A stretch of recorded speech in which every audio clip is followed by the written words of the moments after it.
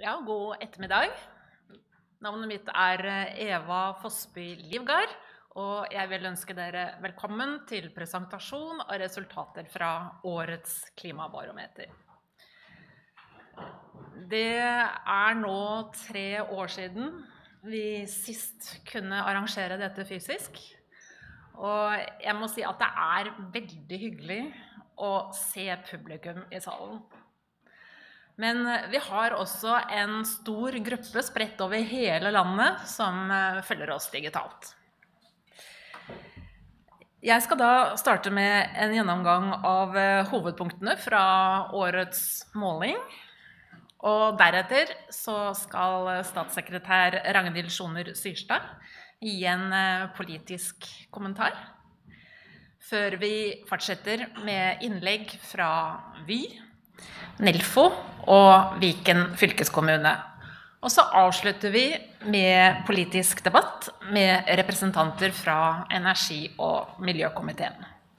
Og så er det Aslak Bonde som skal ta oss gjennom programmet. Jeg vet at mange av dere er godt kjent med Klimabarometeret. Men eh, jeg vil allikevel veldig kort nevne at dette er en eh, uavhengig årlig undersøkelse som kartlegger befolkningens holdninger til klima og klimapolitikk. Og vi har gjennomført Klimabarometeret siden 2009. Hvert år så inviterer vi noen virksomheter til å være med oss i dette arbeidet. Og dette året så har det vært eh, Equinor, Vy, Viken fylkeskommune og Nelfo. Og disse har gitt oss gode innspill på hva som er interessant å fokusere på. Og det er også de som har gjort det mulig for oss å gjennomføre målingen. Siden Klimabarometeret nå har vært eh, gjennomført eh, siden 2009 med til sammen 13 målinger, så har vi nå gode tidslinjer som eh, viser tydeligere endringer i folks eh, holdninger og atferd. I takt med skiftende regjeringer, været vi har, hva folk opplever, og det som ellers skjer rundt oss i samfunnet. Og det er ingen tvil om at pandemi og krig i Ukraina setter sitt preg på årets resultater. Klima er ikke like viktig for oss nå som det har vært tidligere år. Oppgavene i helsetjenesten og økende sosiale forskjeller blir oppfattet som viktigere. Det er 38% av befolkningen som ser klima som en av våre tre største utfordringer. Og det er en nedgang fra 46% i fjor. Og når færre peker på klima, så skyldes det økende bekymring for hvilke konsekvenser den internasjonale økonomien vil få for landet vårt. Og flere er urolige for forsvarssituasjonen vår. Og dette er områder som folk flest har vært lite opptatt av tidligere år, men som vi da ser får økende betydning etter at krigen i Ukraina brøt ut. Det er også flere som mener at situasjonen i helsetjenesten er blant våre store utfordringer. Og det kan nok ha sammenheng med at uh, under pandemien så fikk vi se hvor sårbar helsetjenesten er. Og vi vet også at uh, det kommer en stor gruppe flyktninger til landet vårt. Og det vil også legge et større press på helsetjenesten. Vi finner at uh, ungdommen er ikke like opptatt av klima nå som for noen år tilbake. Men klimaengasjementet blant aldersgruppen under 30 år er jo større nå enn det det var for ja, ca. ti år tilbake. I dag så prioriterer de unge økende sosiale forskjeller og oppgaven i helsetjenesten foran klimaendringer på samme måte som de andre aldersgruppene gjør. Fra Helsepolitisk barometer så vet vi at mange unge slet med psykiske helseplager under pandemien. Og dette klimabarometeret viser at uh, høye energikostnader rammer de unge særlig hardt. Og det er klart at det kan være medvirkende årsaker til at klima nedprioriteres. Med utgangspunkt i partipolitisk preferanse så er det fortsatt de samme velgergruppene som utpeker seg som klimaidealister. Klima står sterkere blant velgerne til Miljøpartiet, SV og Venstre.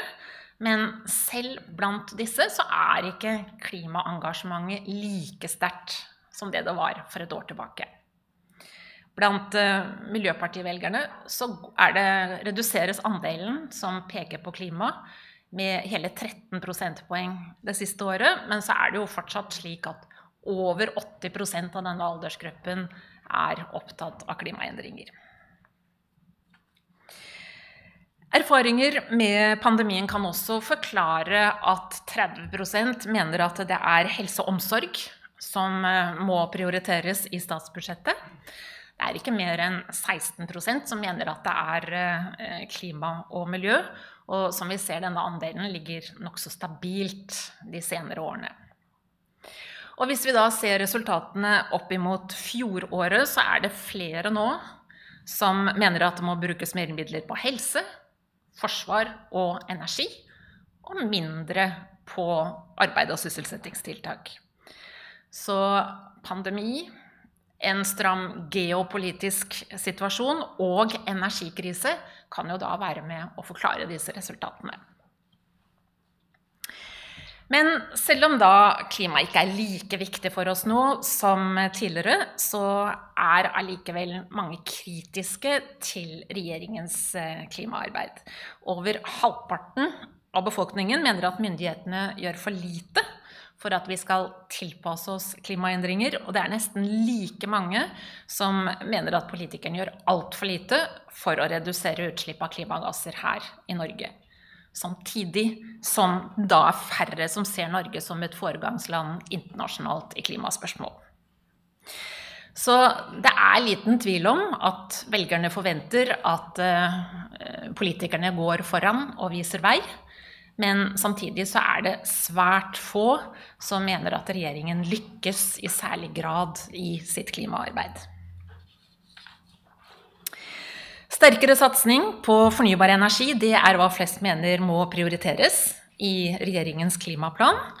Og den kraftkrisen som har rammet oss eh, det siste året, kan jo da være årsak til at eh, dette vurderes som viktigere enn andre tiltak i klimaplanen. Så er det jo også slik at uh, høye energipriser rammer husholdningene hardt og brutalt. Det er 44 som sier at de har måttet vise nøysomhet, eller at de har måttet uh, stramme inn for å kunne gjøre opp for seg. Og vi ser at uh, de unge er de som rammes hardest. Høye priser som følge av knapphet på energi det kan jo også være årsak til at over 40 nå stiller seg positive til eh, atomkraft. Og det er en kraftig økning fra 2009, da under 10% av befolkningen var positive til kjernekraft. Det er også flere som stiller seg positive til vindkraft på land. Her øker andelen fra 36% i 2020 til 43% i årets måling. Og det kan jo da ha sammenheng med at vindkraftdebatten ikke er like intens som tidligere år. Men det kan jo også være at flere ser at vi trenger tilgang på mer fornybar energiproduksjon. Holdningen til havbasert Eh, vindkraft den har ligget eh, nokså stabilt de senere årene, og som vi ser på omkring 65 Årets måling viser også at stadig flere stiller seg positive til olje som energikilde. Her øker andelen fra 16% i 2015 til 35% i årets måling, og det er jo mer enn en dobling. Nesten seks av ti mener at Norge bør fortsette å lete etter olje og gass i samme grad som i dag. Og det er den høyeste andelen som vi har målt i eh, klimabarometeret. Samtidig så viser tallene at eh, færre er villige til å ofre arbeidsplasser for at oljeindustrien skal gå fra å produsere olje og gass til å produsere mer fornybar energi. Så ja, disse resultatene kan kanskje tolkes som at eh, mange mener at fortsatt satsing på olje og gass må gå eh, parallelt med en sterkere satsing på fornybar energi. Kanskje fordi man da er bekymret for den, energi, den internasjonale energikrisen som vi står overfor. Men uh, hva vi opplever, ligger jo ofte til grunn for de holdningene vi har. Og 30% mener at de har sett klimaendringer i sitt nærmiljø. Og ja, denne andelen har ligget nokså stabilt de senere årene, men den er jo vesentlig høyere enn det som ble målt i 2013. Og det flest opplever, det er at eh, det er mindre snø. Det er endringer i start og varighet av årstider. Det er høyere temperaturer. Og det regner mindre. Men hvilke endringer man opplever, det er avhengig av ja, været som var, og også hvor i landet man holder til. Så godt over halvparten av oss er bekymret for hvordan klimaendringene vil påvirke oss. Og de som mener at de har sett klimaendringer i eh, sitt nærmiljø, de bekymrer seg i vesentlig større grad enn de andre. Og for 48% så vil mulig effekt av klimaendringer ha betydning for hvor de vil velge å bosette seg. Og vi ser at dette gjelder i vesentlig større grad de yngre. Det man frykter, det er mer flom, jordskred, som er det som flest mener eh, klimaendringer vil føre til her i Norge i årene frem mot 2050. Men hva er så forbrukerne villige til å gjøre selv for klimaet?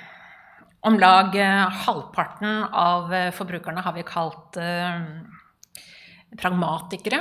De er, de er, litt opptatt av klimaspørsmål, men de tar hensyn til klima der det lar seg gjøre utenfor store anstrengelser. 13% er klimaidealister. De sier at de er svært opptatt av klima, og tar hensyn til klima i det daglige. Deres motpol det er klimaavviserne, som utgjør 10% av befolkningen. Og som landet, navnet tilsier, så er de lite opptatt av klimaet. Og så har vi en gruppe på 27% som vi har kalt likegyldige. De er litt opptatt av klima, men eh, de lar sjelden hensynet til klima prege hverdagen deres.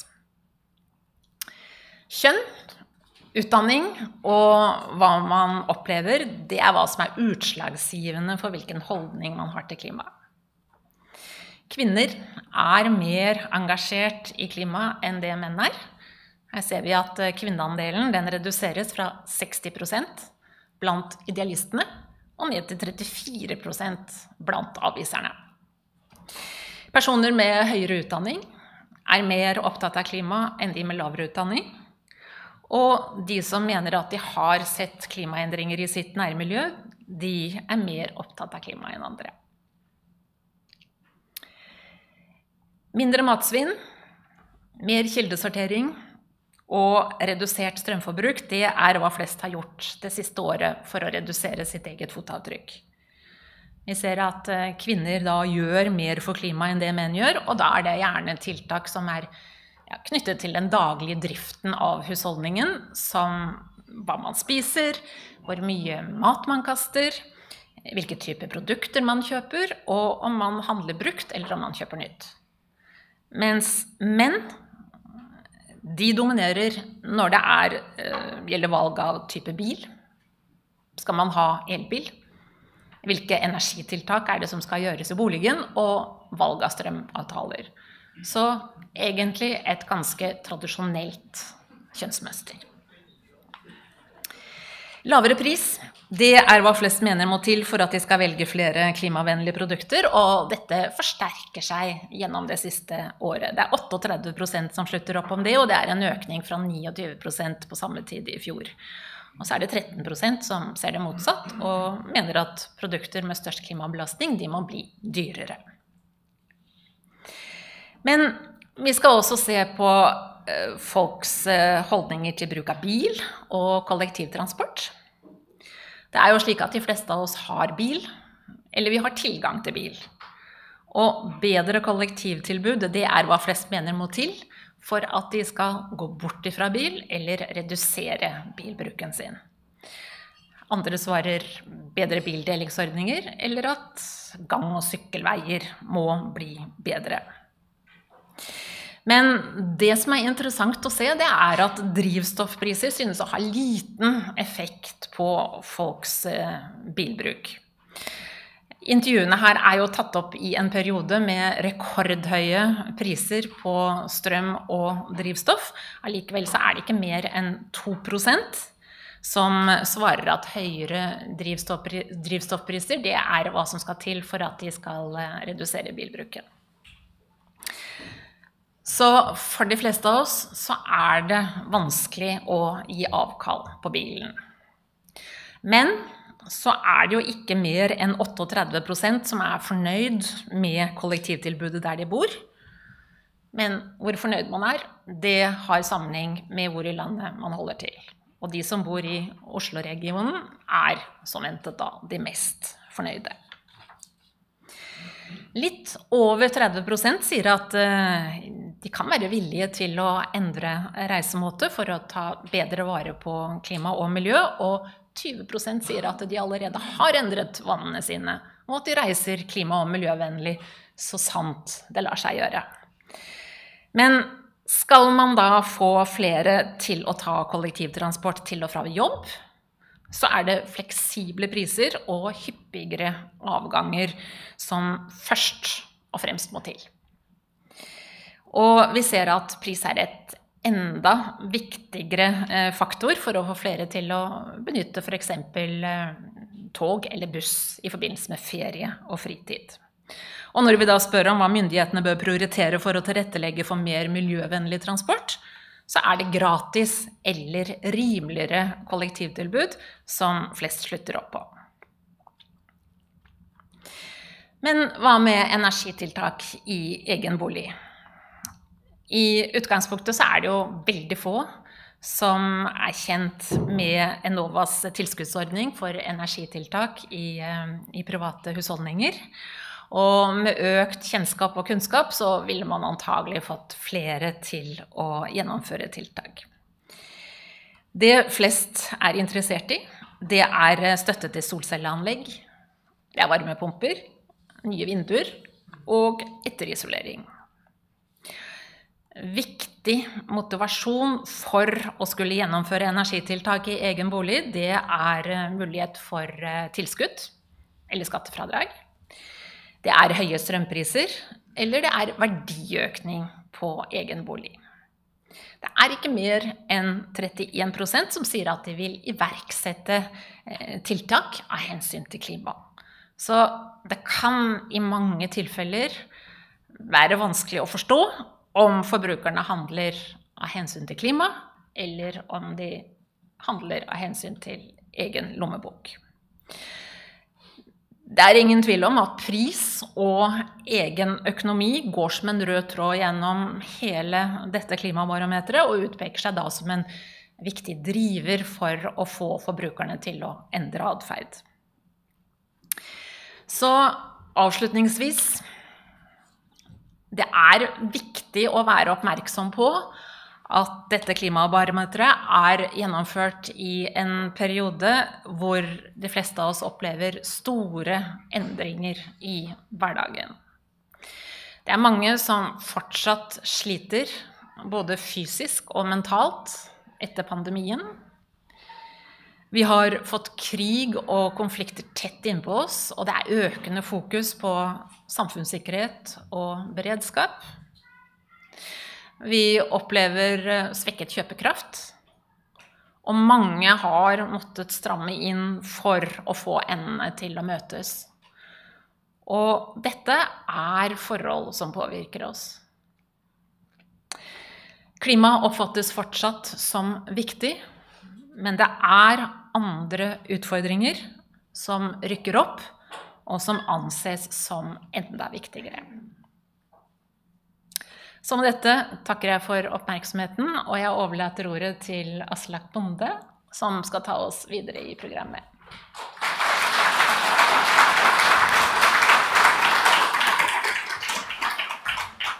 Tusen takk til Eva. Eh, min oppgave nå er å bruke minst mulig tid frem til vi skal ha den avsluttende debatten. Så da ber jeg Ragnhild Sjoner Syrstad om å komme opp her, statssekretær i Klima- og miljødepartementet. Du skal få gi noen kommentarer. Vær så god. Tusen takk for det, og tusen takk for invitasjonen hit. Eh, og ikke minst tusen takk for at barometeret lages. Det gir ny og veldig viktig innsikt, og ikke minst en god anledning til god debatt. Så det er jeg glad for. Samfunnsdebatten nå om dagen er jo prega av at vi lever i en urolig tid, som det blir presentert en god del tall for her. Det er krig i Europa og geopolitisk stormaktsspill og trusler om bruk av atomvåpen. Og vi kjenner på alvoret her hjemme også når det er økt eh, aktivitet med mistenkelige droner, og også priskriser av ulik art, strømpriser, matpriser og drivstoffpriser, som gjør innhogg i folks økonomi og setter hverdagen til folk på prøve. Og eh, I media så kappes nærmest eh, kommentariatet om å komme med de dystreste beskrivelsene av samtida. Jeg vil si at Det samme kappløpet ser vi dessverre ikke i omtale av eh, klimakrisen. Så Det henger nok sammen med at når nære og akutte kriser rammer, så kommer de mer langsiktige i skyggen. Men klimaendringene tar ikke pause av den grunn. Vi har nå tilbakelagt den eh, varmeste sommeren noensinne registrert i Europa. Det har vært alvorlig tørke i Europa, også i USA, Kina og India. Og det er elveleier som tørker ut, skogbranner som herjer, avlinger som går tapt, og bønder som sliter økonomisk. I Pakistan står eh, fremdeles store områder under vann etter eh, flommen som rammet 30 millioner mennesker. Til tross for disse alvorlige klimahendelsene så er det det dystre verdensbildet som også gjenspeiles i Kantars eh, klimabarometer. Klimaet rykker nedover på lista over de største utfordringene men er fremdeles ganske høyt, og det er bra. Det er om lag to av fem som mener at klima er Norges største utfordring. Så selv om vi ikke har klimakrisen på nært hold akkurat nå, her i Norge, så er det ingen tvil om at klimakrisen overhodet ikke kan settes på vent. Så når klimaet går ned, så er det noe annet som går opp.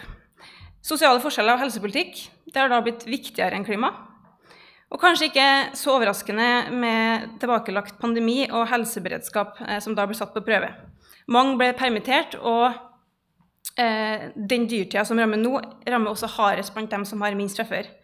Men jeg mener at det trenger ikke, og bør heller ikke, være en motsetning mellom klimapolitikk og rettferdig, sosial, omfordelende politikk. Snarere tvert imot. Her eh, mener regjeringa at den beste klimapolitikken er den som tar høyde for at folk har ulike utgangspunkt for å delta i det grønne skiftet. Og Et eksempel på det, det er regjeringas nylige grep i elbilpolitikken. Vi skal fremme nullutslippsløsninger, ja, men først og fremst vanlige løsninger som eh, er for folk flest, og ikke nødvendigvis luksusforbruk for dem som har mest fra før. De som kan kjøpe seg en elbil til en verdi over en halv million, klarer også å betale moms på de siste kronene. Så registrerer jeg at det er veldig mange som er misfornøyd med regjeringas innsats, og at mange syns det går for sakte.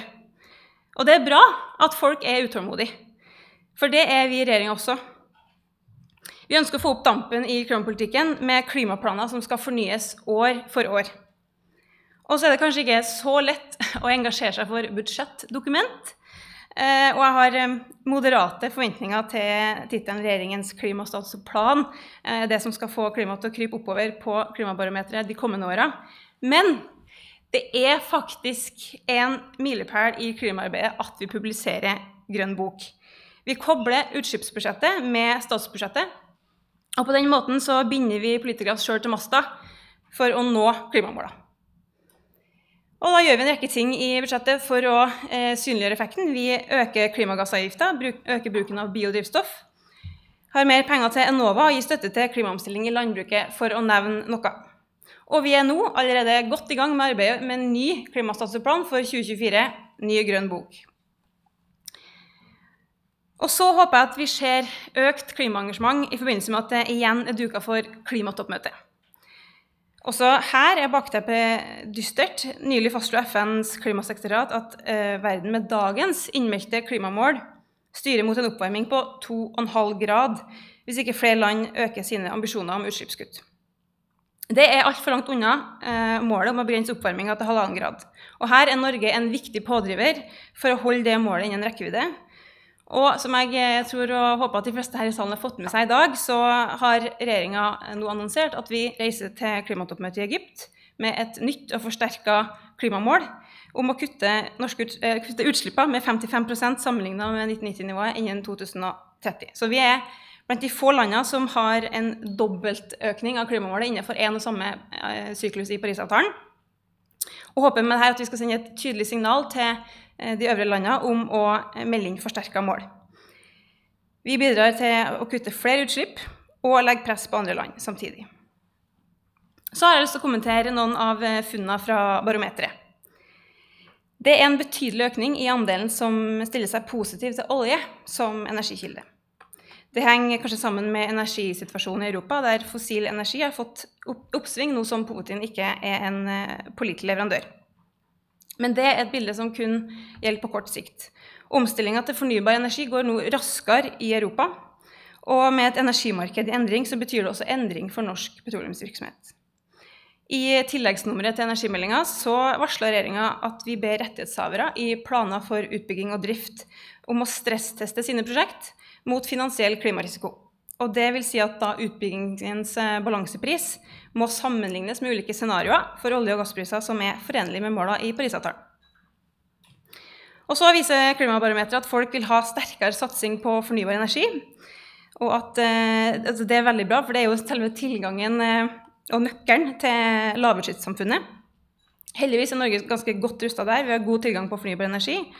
Eh, og det er interessant å se at eh, solkraft og vannkraft er den eh, energikilden folk er mest positive til. Men også det at andelen eh, som er positiv til vindkraft, har stabilisert seg. Så der har jo regjeringa eh, gjort noen grep. Etter en pause på tre år har vi også åpna for behandling av konsesjon for nye vindkraftprosjekt eh, igjen. Og ikke minst en ambisiøs plan for utbygging av havvind. I våre så satte vi en ambisjon om å tildele areal med potensial for 30 gigawatt havvindproduksjon på norsk sokkel innen 2040. Og de første arealene blir, blir tildelt neste år. Og så er det like så viktig å bruke den energien vi har, mer effektivt. Det er Den reneste, og billigste og mest miljøvennlige strømmen er jo den som eh, ikke brukes. Og da eh, la jeg merke til at det var et eh, veldig lav andel som var kjent med det, de virkemidlene vi har per i dag. Det var 14 Så eh, det bare bekrefter bildet av hvor viktig det er med informasjonskampanjen som regjeringa er i gang med. Vi samarbeider, altså Det er NVE, Miljødirektoratet, Enova og DBK som skal gå bredt ut til norske husholdninger for å synliggjøre alle de virkemidlene som er tilgjengelige for energieffektivisering. For nå er det sånn at du kan gjøre tiltaket, sende inn kvittering og få pengene like etterpå. Det er et veldig effektivt system i Enova. Vi bruker allerede store summer. Det er snakk om 1,7 milliarder kroner over en fireårsperiode. Og neste år hele 700 millioner. Eh, og det er ekstra viktig eh, denne tida når vi ser at det er såpass få som eh, har oppgradert de siste fem åra. Jeg er veldig stolt over at regjeringa har pøsa på med mer penger til energieffektivisering også inn i Husbanken, sånn at vi klarer å kombinere klimapolitikk og god omfordeling på en og samme tid. Et eh, siste moment jeg har lyst til å peke på fra barometeret, det er andelen som opplever at klimaendringene, eh, opplever klimaendringene på kroppen. Eh, den er nå dobla sammenligna med for ti år siden. Det er, det er snakk om da kortere skisesong, høyere temperatur og oftere eh, åpne sluser fra oven, nemlig styrtregn. Og det er også ti år siden forrige stortingsmelding om klimatilpassing. Så nå er det på høy tid at vi oppdaterer den politikken. Og regjeringa er i gang med å lage en ny stortingsmelding om eh, klimatilpassing som skal komme eh, neste år. Og da skal vi da eh, breie med brei pensel og ta inn at klimarisiko også er, blir en viktig del av beredskapspolitikken framover. Så da ønsker jeg å takke for eh, at Kantar eh, laga dette klimabarometeret. Et veldig godt verktøy for oss som ønsker å forankre en solid og målretta klimapolitikk til befolkninga, også i en tid prega av usikkerhet og strammere økonomi. Så da vil jeg si takk for meg og ønske dere en god eh, klimadebatt i dag.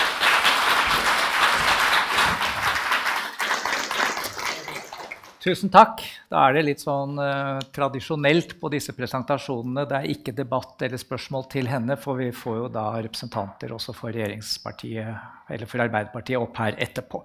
Så da går vi direkte over på forberedte innlegg fra noen av de som har vært med som partner i denne undersøkelsen. Og Marius Holm, helt riktig, du er på vei opp allerede. Du er da kommunikasjonsdirektør i Vy. Vær så god. Takk skal du ha. Ja, vi er, vi er, jo eh, et selskap som har som visjon å få flere til å reise miljøvennlig. og Derfor er vi med på den undersøkelsen for å finne litt ut om hva som skal til for å få flere til å velge miljøvennlige transportalternativer, velge tog, velge buss eller velge andre kollektive transportmidler. Og eh, hvis vi ser, spør oss hva er det mest interessante eh, klimabarometeret har lært oss om eh, transportvaner og hva som skal til, så kan vi jo begynne med eh, de 50% som eh, sier at de ikke er villige til å redusere bilbruk, selv om det blir dyrere drivstoff eller energi, eh, eller bompenger for den saks skyld. Eh, og kanskje og, og, ja, 36% som sier at det er uaktuelt å bruke kollektiv til og fra jobb. La oss begynne med de. Eh, mange av de her tror jeg bor eller jobber på steder hvor det ikke er noe grunnlag for kollektivtrafikk. I hvert fall ikke på en effektiv måte. Og kanskje noen er die hard bilbrukere som sverger til bilen uansett. På på bygda, da jeg kommer fra, så er bilen egentlig veldig grei. Og når den blir elektrisk, så er jo problem, problemene med bilbruk der egentlig ganske begrensa. Det er ikke denne gruppen vi skal jakte på når vi skal ha flere til å velge kollektivt. Kanskje er det noen som kan velge elsykkel på bygda hvis det blir sykkelveier og, og trygt å ferdes langs fylkesveien. Eh, men kollektivtrafikken vil aldri ta store markedsandeler der. Men i de litt grisgrendte strøkene rundt byene våre der er potensialet stort. Her er det mange som bruker bil hver dag, selv om det finnes kollektivtilbud. Og det er dem vi må lokke over på tog, bane, trikk, buss for å få ned utslipp. Men ikke minst, når, nå som bilene blir elektriske, så må vi huske på at køen blir akkurat like lang selv om bilen er elektrisk. Og vi har også en naturkrise og en ressurskrise som tilsier at vi bør dele mer, og vi bør dele transportmidler. Vi, ikke minst så er det sånn at eh, skal vi, få, eh, skal vi, få, byene våre til å fungere godt, så kan vi ikke dytte flere biler inn i dem. Biler tilfører byen problemer, mens mennesker, de menneskene som vi dytter inn i byen med tog og buss og trikk osv., de skaper verdier og skaper liv og skaper positive ringvirkninger for, for byene. Vi bygger større veier uh, for å bli kvitt køen, uh, selv om vi egentlig vet at det er feil medisin. Byene får ikke mer plass til flere biler av at veien inn til byen blir større. Uh, og også i små og mellomstore byer så opplever vi at det blir mer og mer kø. Så da må vi jo se på hva som skal til for å få de menneskene eh, over på kollektiv. Og der ser vi altså at det er eh, mer fleksible og billigere billetter, og det er flere avganger som er eh, den mest, måte, den, det hovedsvaret vi får ut av klimabarometeret. Og det svarer vi jo på, både Vy, men også resten av jernbanen i Norge og kollektivsystemet i Norge. Vi, nå om en måneds tid, eller halvannen måneds tid så åpner Follobanen, som er en sånn liten togrevolusjon for den delen av Østlandet som er eh, altså sør for Oslo, med dobling av antall avganger og, og eh, rett og slett et helt fantastisk raskt og effektivt kollektivtilbud. Og vi møter det med å innføre smartpris, som gjør at eh, folk kan eh, ikke trenger å finne ut på forhånd om det lønner seg med månedskort eller enkeltbillett hvis de har litt hjemmekontor og sykler litt iblant. Men selv om vi eh, selv om vi svarer på det folk sier de vil ha, eh, så må vi også spørre oss om det svaret er nok.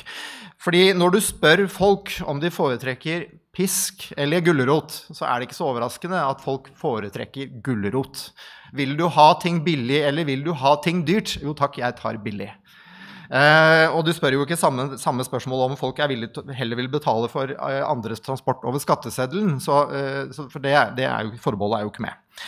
Så når vi skal tenke, finne ut hva vi skal lære om virkemiddelbruk av denne, klimabarometeret, så må vi nok ta det litt med en klype salt når folk sier at de ikke kommer til å endre vaner selv om det blir dyrere å ferdes med bil. Eh, prisfølsomheten er nok litt større enn de er villige til å innrømme på det spørsmålet. For vi ser jo at de er villige til å kjøre mer kollektivt hvis det blir billigere. Eh, så pris virker. Eh, og skal vi lykkes med å få eh, folk over, så må vi bruke en god balanse av pisk og gulrot. Jeg eh, synes jo elbilpolitikken i Norge er en fantastisk suksess. Jeg har brukt 20 år av livet mitt på å få den eh, på plass, og er veldig fornøyd med den. Men det er jo også sånn at når vi nå ser at vi har over 80% elbilsalg uten å ha noe som helst slags opprør i befolkningen mot det, så er jo det fordi vi har hatt en god balanse med mye gulrot og litt pisk. Vi har hatt høye avgifter på fossile biler og drivstoff og bompenger, og vi har hatt nullavgift på elbiler. Det er en blanding av pisk og gulrot som har truffet veldig godt. Men så er det også sånn at under pandemien så har ikke folk bare fått noen nye reisevaner, de har også fått ny elbil, og de opplever at nå har det blitt månedskort på bil. fordi når du først har kjøpt den, så er det gratis å reise. Nesten. Og jeg tror jo at eh, hvis vi skal få eh, best mulig nytte av de investeringene vi som fellesskap gjør i kollektivinfrastruktur, i f.eks. Follobanen og andre jernbanestrekninger som vi planlegger, T-bane i Oslo, ja, så må vi også være villige til å gi folk en liten dytt. Dette handler jo også sånn helt grunnleggende sett om, eh, eh, om eh, hvor, hvor, billig skal transport være, hvor subsidiert skal transport være. Vi kan selvfølgelig møte billig elbiltransport med enda mer subsidierte togbilletter, men det er kanskje bedre at private goder, altså varer og tjenester som faktisk kan kjøpes, eh, prises mer riktig, og at vi fordeler med, andre virkemidler enn en billig transport. Eh, men balansen må være der erfaringen fra elbilpolitikken om at gulrot er viktig for å, få, for, for å, få, folk med seg på stor endring, må vi ta med oss. Vi må bruke mer gulrot. Vi må gjøre klimapolitikk og grønn bypolitikk populær. Men innenfor da en viss balanse, hvor vi faktisk også får folk til å noen, gjøre noen endringer, eh, ta noen eh, nye valg. Eh, velge å la bilen stå. Vi har en klimakrise. Den løser vi med å elektrifisere, men vi løser ikke naturkrisen, vi løser ikke køproblematikk. Vi er nødt til også å få folk til å la bilen stå og velge mer kollektivt. Eh, vi eh, har sett litt på hvordan samfunnet regner på dette. Eh, i, når vi planlegger samferdsel i Norge, så regner vi på nytter og kostnader.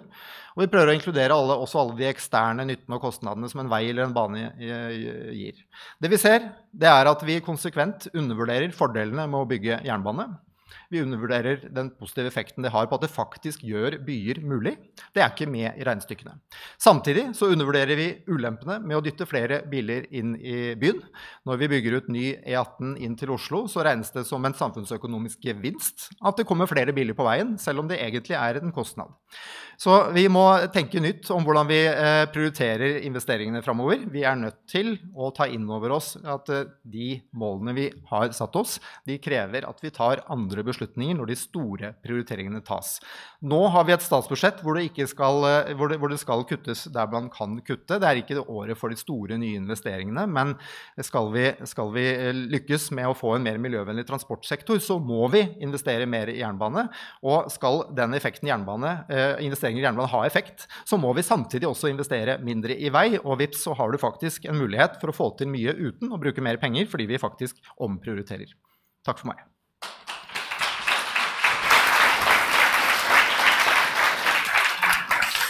Tusen takk. Da iler vi videre i programmet og ber Andreas Strømsheim Aamodt om å komme opp, fagsjef i Nelfo. Vær så god. Tusen takk.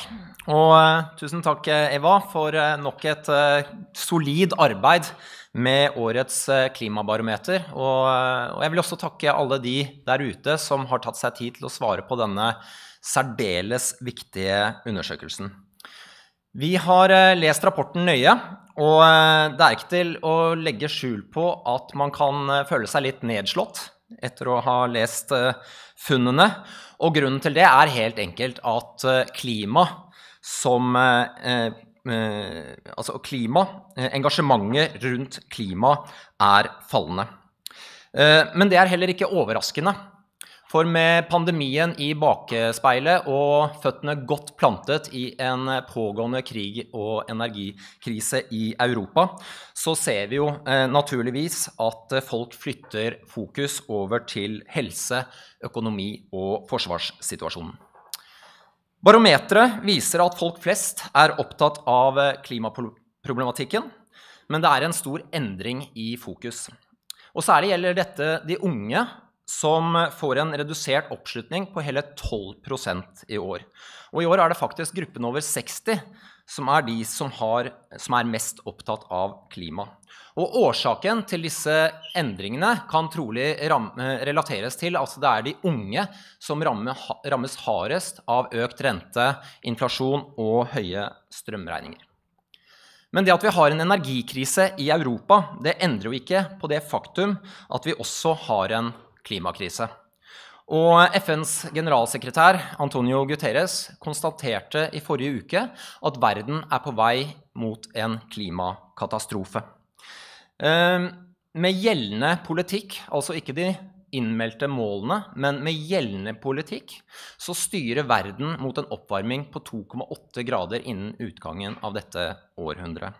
Og vinduet for å nå 1,5-gradersmålet, det er i ferd med å lukkes. Løsningene finnes, men som generalsekretæren sier, tiden for multilateral handling, det er nå. Eh, også den norske regjeringen har da et ansvar for å handle. Og etter mitt syn så er det et positivt funn i, i tallene at eh, det ville vært svært populært. Eh, å prioritere klima og miljø eh, fremfor andre poster på statsbudsjettet skårer nest høyest blant velgerne. Og Således var det jo svært gledelig at eh, statsminister Jonas Gahr Støre i dag tidlig eh, holdt en pressekonferanse hos Klima- og miljødepartementet og konstaterte at Norge nå styrker sitt klimamål til 55% i forkant av klimatoppmøtet i Egypt. Men eh, styrkete klimamål det vil trolig bli vanskelig å nå i et samfunn med fallende klimaengasjement. Vi redder ikke planeten hvis vi syns klima er det tredje viktigste vi jobber med. Klimabarometeret er derfor etter vårt syn et viktig varsel om at eh, klimaengasjementet må styrkes hos hele befolkningen. Altså klima må tilbake på førsteplass i barometeret. Eh, på dagens pressekonferanse fikk vi også høre da hvilke satsinger et forsterket klimamål vil innebære for Norge. Og det som ble nevnt der, det var et grønt industriløft. Uh, havvindsatsingen, karbonfangst og -lagring, batteriverdikjeder og produksjon og distribusjon av hydrogen. Og vi er, vi er veldig enige i at det er kjempeviktige satsinger for å sikre fremtidig verdiskapning i Norge. Men dette er jo egentlig ikke nye satsinger. Alt dette har eh, myndighetene beskrevet før i eh, den forrige regjeringens eh, energiressursmelding, og også i den tilleggsmeldingen som kom fra den sittende regjering. Men i dag, etter at Kantar har presentert resultatene fra årets undersøkelse, så fremstår det som for meg i hvert fall veldig tydelig at man ikke har evnet å skape et tilstrekkelig engasjement, et tilstrekkelig entusiasme i befolkningen rundt Norges satsinger på klima. Så hva bør man gjøre? Eh, jeg har et forslag. Eh, det vil ikke løse klimautfordringen, men, men det vil løse eh, forhåpentligvis, eller bidra til økt engasjement, noe som etter vår mening er en forutsetning for å løse klimautfordringene. Så det vi må gjøre, det er å plassere befolkningen i midten av den grønne omstillingen. Klimasatsingen i Norge det kan ikke begrense seg til store industrielle ambisjoner og en forestilling om grønn omstilling i næringslivet. Klimasatsingen må være noe som alle kan ta del i. Man skaper ikke eh, man skal, åpenbart så skaper man ikke et godt nok engasjement ved å fortelle folk om det grønne skiftet. Vi må også inkludere befolkningen i omstillingen. Klimabarometeret identifiserer altså et behov for å skape fornyet klimaengasjement hos hele befolkningen, et engasjement som også står seg gjennom krisetider. Og I den forbindelse så er det viktig å peke på at nesten halvparten av oss er det Kantar kaller pragmatikere. Vi er eh, opptatt av klimaspørsmål, men tar hensyn til klima kun der det lar seg gjøre. Og da burde jo det politiske svaret på økt engasjement være å gjøre det lettere å ta gode klimavalg i hverdagen. Folk vil jo bidra til, eh, til omstillingen, så da må vi legge til rette for at de kan bidra. Øk tilskuddene til solceller, til varmepumper, til etterisolering, til smart, eh, nei, smart energistyring. Da frigjør vi eh, da, da, sparer vi fornybar energi. Vi produserer mer fornybar energi som kan brukes til eh, de store industrielle satsingene som vi hørte statsministeren snakke om tidligere i dag. Og jeg tror også at entusiasmen for å bidra ville økt enda mer om flere av oss var klar over de mulighetene som faktisk finnes. Eh, klimabarometeret viste jo oss nå at bare 14 av oss har god kunnskap om Enovas tilskuddsordning for private husholdninger. Og her har Enova en stor jobb å gjøre med å bli langt mer synlige og langt mer fremoverlent. Her trengs det støtte til flere tiltak, og de må gjøres mer relevante for befolkningen. Hele Europa har et akutt behov for å redusere energibruken og for å frigjøre seg fra fossile energikilder. Og da er det veldig frustrerende å se på at Enova ikke har introdusert ett eneste nytt tiltak til husholdningene etter at krisen inntraff. Jeg sa innledningsvis at man kan bli nedslått, kan bli nedslått av årets klimabarometer. Men det er imidlertid flere lyspunkt, og ett av de er at befolkningen faktisk viser vilje til å bidra. Økningen i andelen som ønsker å gjennomføre energitiltak, den er veldig tydelig. Eh, men folk sitter altså fortsatt på gjerdet i påvente av gode tilskuddsordninger eller skattefradrag. Jeg nærmer meg slutten, men eh, før jeg gir fra meg ordet, så skal jeg forsøke meg på en eh, kort oppsummering. 1. Klima er fortsatt viktig blant befolkningen, heldigvis. Men vi trenger nå en fornyet og forsterket engasjement som vil kunne opprettholdes gjennom krisetider. Mange av oss har et ønske om å bidra, og mange ønsker å gjennomføre energitiltak selv hvis det lar seg gjøre. Regjeringen og Enova bør derfor opplyse befolkningen bedre om mulighetene de har til å gjøre egne energitiltak. De må utvide støtten, og de må kommunisere hvordan folk da bidrar til den grønne omstillingen av samfunnet. Tusen takk.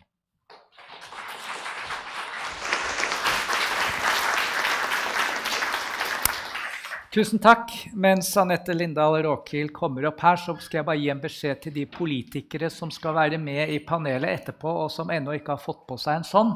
Dere sniker dere opp til lydteknikeren helt bakerst i salen, sånn at dere får på dere en bøyle. Da, Anette Lindahl Råkild, du er fylkesråd i Viken. Vær så god.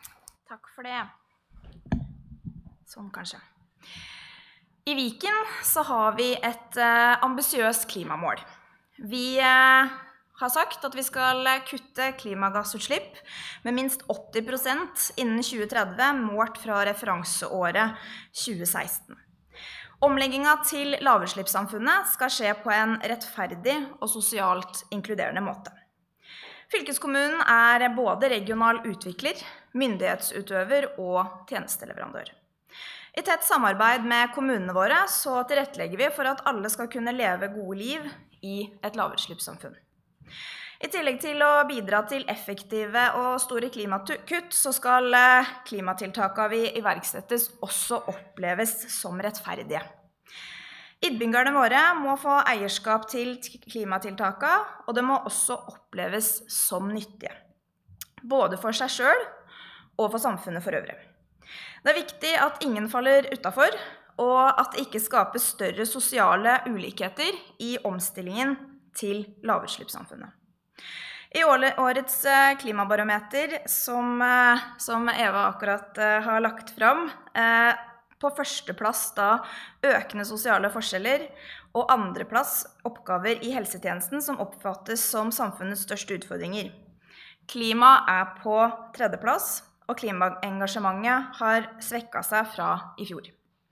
Sjøl om dette i stor grad kan forklares av pandemien og krigen i Europa, så er det også en påminnelse om at vi må ha to tanker i hodet samtidig. Eh, og nettopp det for å få en vellykka omstilling til lavutslippssamfunnet. Vi skal redusere klimagassutslipp samtidig som vi skal utjevne sosiale forskjeller. I fjor så hadde vi med flere spørsmål eh, som omhandla rettferdighet og opplevelse av nytte og byrde av klimatiltak. Resultatene i fjor viste en betydelig ulikhet i opplevelse av klimatiltak i by og bygd. Det var en eh, oppfatning om at det er de sentrale områdene som, skal, som har, eh, hadde hatt den største nytten av klimatiltak, men også en viss byrde. Forholdet mellom eh, Nytte og byrde av klimatiltak ble oppfatta å være det motsatte i spredtbygde områder, hvor nytten av klimatiltak opplevdes som veldig lav, og eh, byrden noe høyere enn i sentrale områder. Dette var spørsmål som ble videreført også i årets klimabarometer. I år viser resultatene fra barometeret at byrden av klimatiltak oppfattes å ha økt ytterligere fra, eh, i spredtbygde strøk, mens byrden har blitt redusert i sentrale områder. Det, dette viser at, eh, og det viser også oss i Viken, eh, at eh, som har da både spredtbygde og sentrale områder, eh, at det er viktig å anerkjenne at klimatiltakene ikke kan være like overalt. Og at differensiert klimapolitikk er nødt til å være veien å gå hvis vi skal snu på denne trenden. Viken fylkeskommune arbeider derfor godt med et prosjekt vi har som kalles for bygdemiljøpakker, eh, som bl.a. skal styrke distriktene med klimavennlig stedsutvikling. Siden det er kommunene sjøl som identifiserer behov og problemstillinger, så kan dette bidra til at nytten av klimatiltak oppleves som større og byrden mindre. Ikke minst at man finner fram til klimatiltak som er lokalt tilpassa, og som styrker stedsidentiteten. I årets klimabarometer så ønska vi også å undersøke nærmere hvordan strømkrisa har påvirka innbyggerne, og om det, noen, om det, er noen grupper som er truffet hardere enn andre. Vi ønsker å få innblikk i hvilke strømsparende tiltak i egen bolig som var mest aktuelle. En av de systemiske endringene som er nødt til, eh, og som, er, som må til for å omstille oss eh, til et lavutslippssamfunn, er nettopp energisystemet. Det må baseres på fossilfrie energikilder, og energien må brukes effektivt. Det er stort potensial for energieffektivisering i Viken, og de høye strømprisene har satt fart på motivasjonen til å gjennomføre tiltak. Som Eva nevnte, så er det, eh, så er det mye som tyder på at forbrukerne er drevet av pris eller økonomi, og ikke nødvendigvis klima som motivasjon til å gjennomføre energi- eller klimatiltak. Selv om det òg er andre grunner til at strømprisene har vært særlig høye den siste tida, så er det grunn til å tro at strømprisene framover eh, blir høyere enn det vi har vært vant til.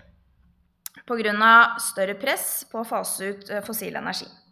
I så måte så er en av konsekvensene av omstilling til lavutslippssamfunnet høyere strømpriser. Strømsparing og energieffektivisering er nødvendig for å nå lavutslippssamfunnet. Samtidig er det viktig at høye strømpriser ikke fører til større sosiale forskjeller.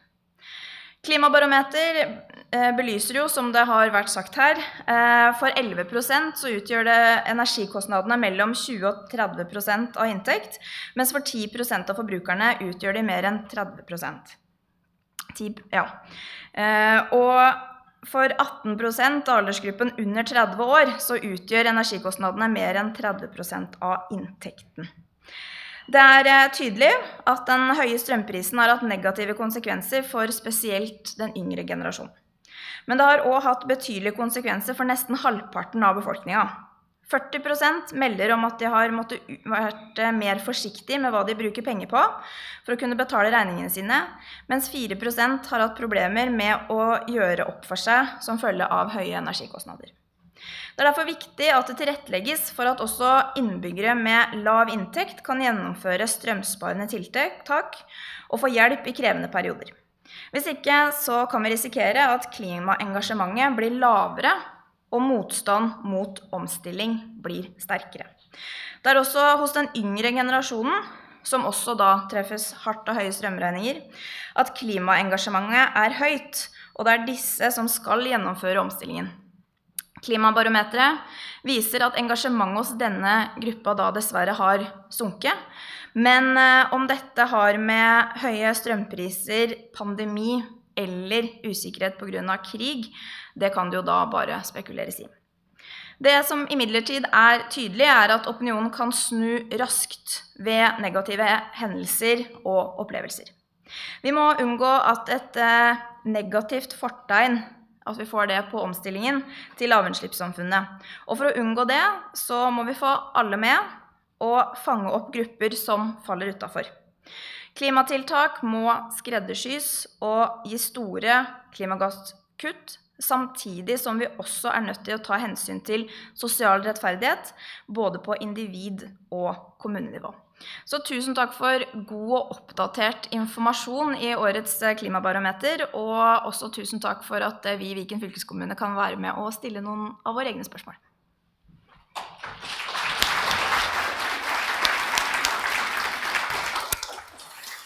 Tusen takk. Da ber jeg alle politikerne som skal være med i debatten, om å komme opp hit. Og så skal jeg si at uh, dere som følger oss på stream, det ser jo litt sånn fattigslig ut. Det sitter ingen rundt her, men det er stinn brakke bak i salen.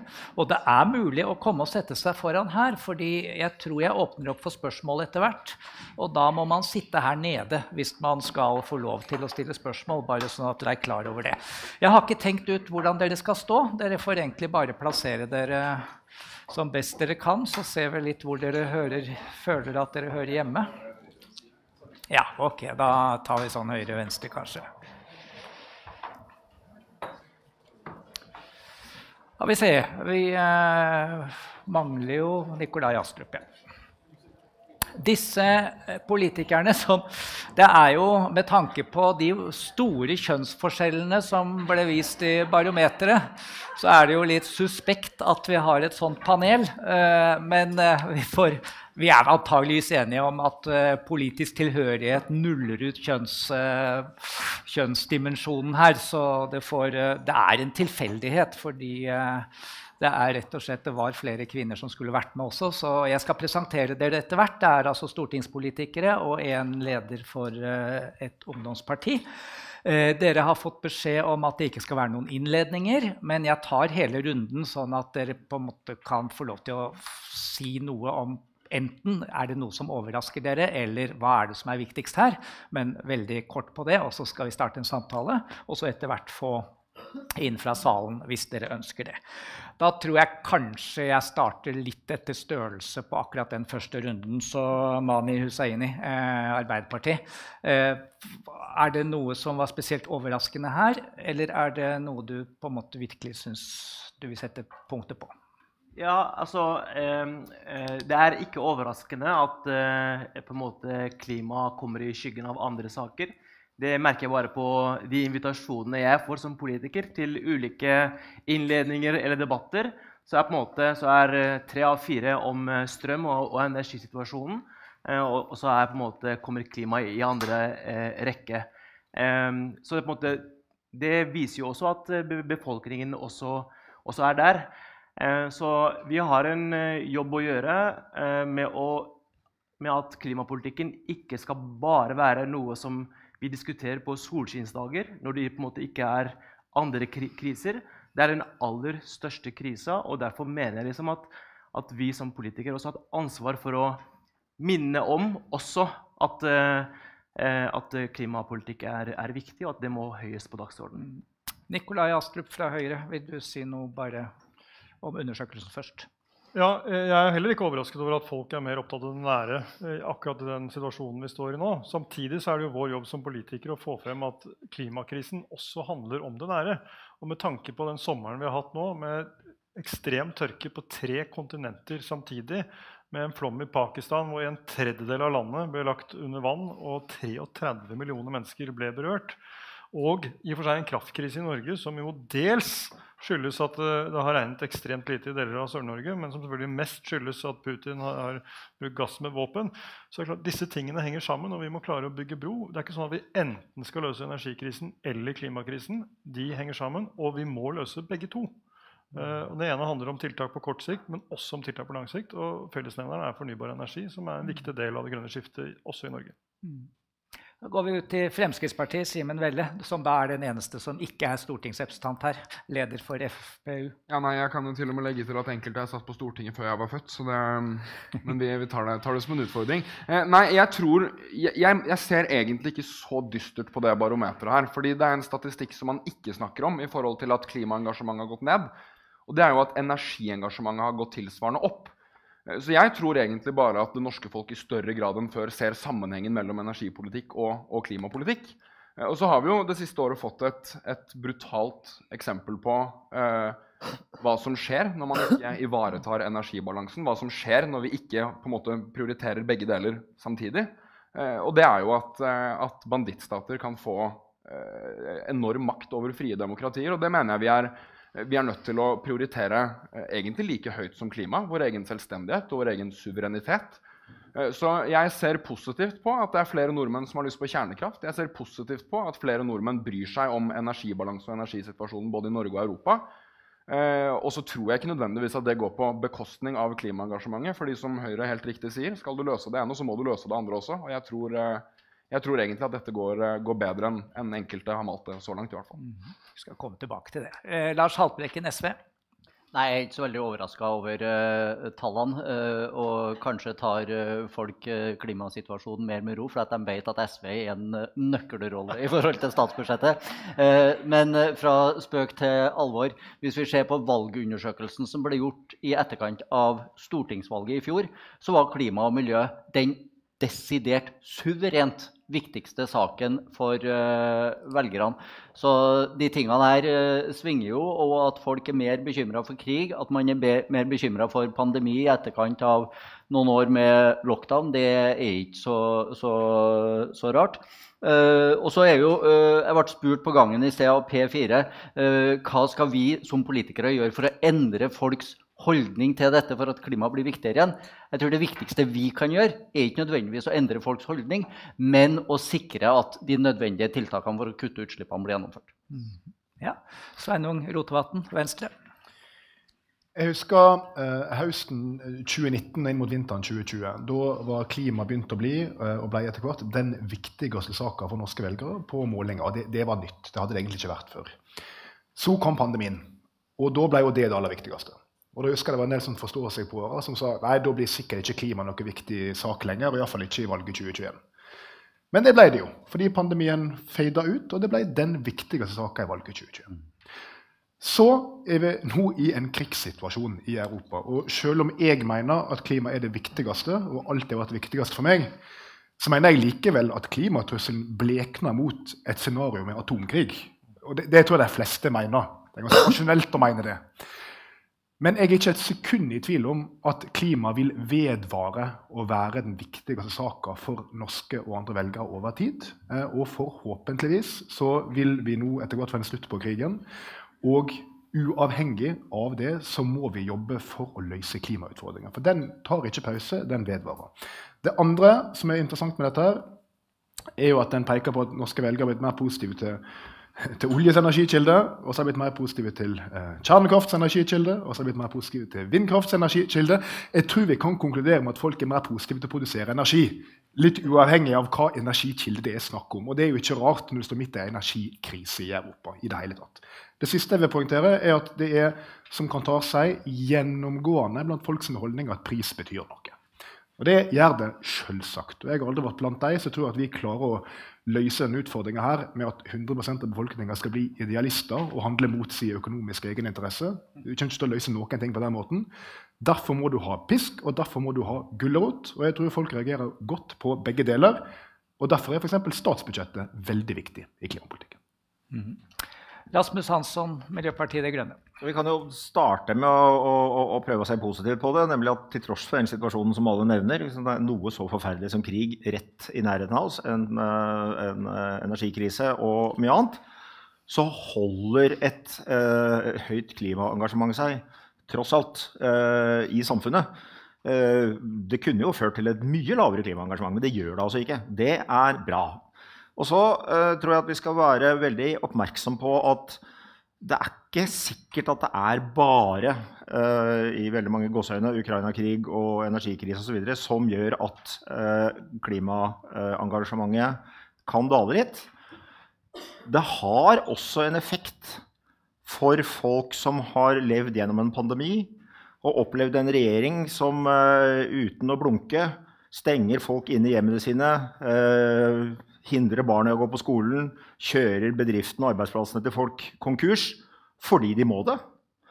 En sånn regjering er jo ikke i nærheten av å gjøre noe som ligner eh, den typen tiltak overfor en krise som de sier er forferdelig stor. Svaret på en forferdelig stor krise er og så skal vi bygge ut Wisting-feltet. Eh, en forferdelig stor klimakrise. svar svaret på det er at vi skal bygge ut Wisting-feltet. Så folk ser jo den ganske heftige dissonansen mellom problembeskrivelsen og de tiltakene folk merker. Og det tror jeg nok er en fare for at det bidrar til å uh, redusere klimaengasjementet. Fint. Jeg lurer på om jeg bare skal starte med altså alle her, Det er jo ingen tvil om at krig og pandemi har betydning for disse tallene. Men jeg er litt spesielt opptatt av den ungdomsgruppa som nå er like lite, eh, like mye eh, interessert i klima som alle de andre eh, aldersgruppene. Og, og Simen Velli, altså, er det noe som her Jeg går til deg for at jeg tror kanskje du kan sparke litt i disse. fordi det var noe skolevalg hvor Fremskrittspartiets Ungdom gjorde det ganske bra. Mm. Og hvor rapportene derfra var at på en måte engasjementet allerede da var begynt å svikte. Altså før ja, Det var jo pandemi, da, men før krigen i hvert fall. Eh, så du hører jo, jeg ber deg på en måte om ja. å si at det er noe annet som gjør at ungdommen har mista engasjementet. Ja, altså, jeg tror ikke Fremskrittspartiet eller Fremskrittspartiets Ungdom bidrar til noe mindre klimaengasjement i Norge. Jeg tror vi kanskje bidrar til litt mer fornuftig klimapolitikk, men det tenker jeg vi kan bruke en time på å diskutere etterpå også. Men det vi gjorde i skolevalgkampen, var å være helt ærlig på at ja, klima det er vår tids viktigste utfordring. og Derfor trenger man Fremskrittspartiet sine løsninger. Så jeg, jeg, mener at, og Det er vår interne analyse etter det skolevalget, at grunnen til at vi gjorde det såpass godt, var at vi var alternativet til alle de andre partiene. Eh, og når man blir et alternativ og fronter når det er to meninger, og den ene meningen har åtte partier, og den andre meningen har ett parti, så er det ikke rart at man vokser. Eh, det, det blir litt selvsagt.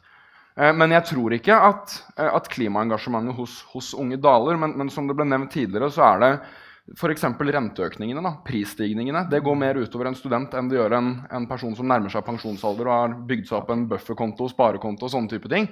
Eh, så jeg tror at de, de, politiske grepene som til enhver tid blir tatt, de påvirker min generasjon mer enn den forrige generasjonen. Og det er jo mye av grunnen til at vi også kanskje vikle litt mer i, i, hva vi fokuserer på. Da. Ja. Jeg lyktes ikke. Jeg skulle liksom få deg til å sparke de andre, men du er jo egentlig helt enig i, i den undersøkelsens konklusjon. Da. Egentlig At det er rente og dyrtid også som gjør det. Hva, hva tenker du, Nikolai? Er det spesielt urovekkende, det med ungdommen? Altså, det kan være mange forklaringer til at uh, tallene er sånn som de er. Men, men uh, i summa summarum så er unge mennesker mer opptatt av dette enn veldig mange andre. Uh, og jeg tror det Eh, kommer til å holde seg. Men enda, ja, men det, det, jo det undersøkelsen viser at det er det ikke lenger. Nei, men de er fortsatt litt over. Ja, hvis ikke jeg husker Det er jo men, Rasmus og min sin generasjon som er mest opptatt av den nå. De, de gamle. Men, men, jeg tror jo, hvis vi ser på for klimasaken da, så enda viktigere enn akkurat hva prosenttallen er for, for, de unge, er jo at dette nå etter hvert heldigvis er blitt en, en mainstream sak for næringsliv, for organisasjoner. Alle må tenke på dette, alle må forholde seg til det. Og de vet at rammevilkårene kommer til å strammes inn, og de må agere deretter. Altså, jeg var på klimatoppmøte for første gang i 2009, og det var jo etter at du ble født. Eh, det var i København, så var det knapt en næringslivsleder å se. Eh, hvis du dro på FNs generalforsamling ti år senere, så var det jo flere toppsjefer fra eh, selskaper rundt omkring i verden enn det var politikere til stede. Og det er bra! Og det er kanskje enda viktigere for å få til handling. Mm. Fordi På noen felt så er det jo sånn at det er næringslivet som går foran, og politikerne som kommer etter. Eh, Og da tenker jeg at det er politikerne som må skjerpe seg, ikke næringslivet som går for fort frem. for Ja. å si det på den måten. Jeg har masse ulike problemstillinger på blokka. Er det flere som syns dette er noe, at det er noe viktig å si om dette? Ja, Lars? Nei, men Én forklaring kan også være pandemien. Eh, jeg har ei datter på 19 år som ble engasjert i Natur og Ungdom rett før pandemien. Eh, det artigste med å være med i Natur og Ungdom er ikke nødvendigvis alt det viktige du lærer, men det er det sosiale. Det forsvant jo helt. Det å være med på et tredagers landsmøte på Teams i Natur og Ungdom, det fins jo ikke noe mer kjedelig eh, enn det. Eh, men det å være på en folkehøyskole og treffe folk, det er dritartig. Så jeg tror pandemien også tok litt knekken på det eh, engasjementet hos eh, ungdom, og det er vi nødt til å være med på å eh, restarte igjen, tror jeg. Ja. Replikk til Velle før ja. Det er ikke ofte jeg er enig med SV, men, øh, men det er jo ikke noe bare Natur og Ungdom og på en måte klimaengasjementet har merket. Det har ungdomspartiene merket i veldig stor grad også. Jeg tror ikke du finner en, en leder av noen organisasjon egentlig, som har sett positiv medlemsvekst de siste to årene. Og det er et kjempeproblem. Fordi blant ungdommer og i ungdomsorganisasjonene så er gjennomtrekket av medlemmer mye større enn i de voksne organisasjonene. Og det gjør jo at, at vårt engasjement altså Gjennomsnittstiden for en ungdomspolitiker er to, tre, fire år, kanskje. Jeg vet ikke hvor lenge du har vært politiker, Rasmus, men det er kanskje litt lenger enn det. Ikke vært ungdomspolitiker så lenge. men, men, men poenget mitt står seg. Altså, det, det, er noe med det at uh, vi har en kortere fasttid, vi har høyere utskiftning av medlemmer, og når du da får to år helt uten fysiske møter, så knekker det nakken på organisasjonen, rett og slett. Andre som ville ha noe på dette før vi går videre? Uh, Nei. Nei. Da Bare- går, vi videre. Da går. Ja, da går vi videre. Olje. Jeg syns det var veldig spennende, de oljetallene.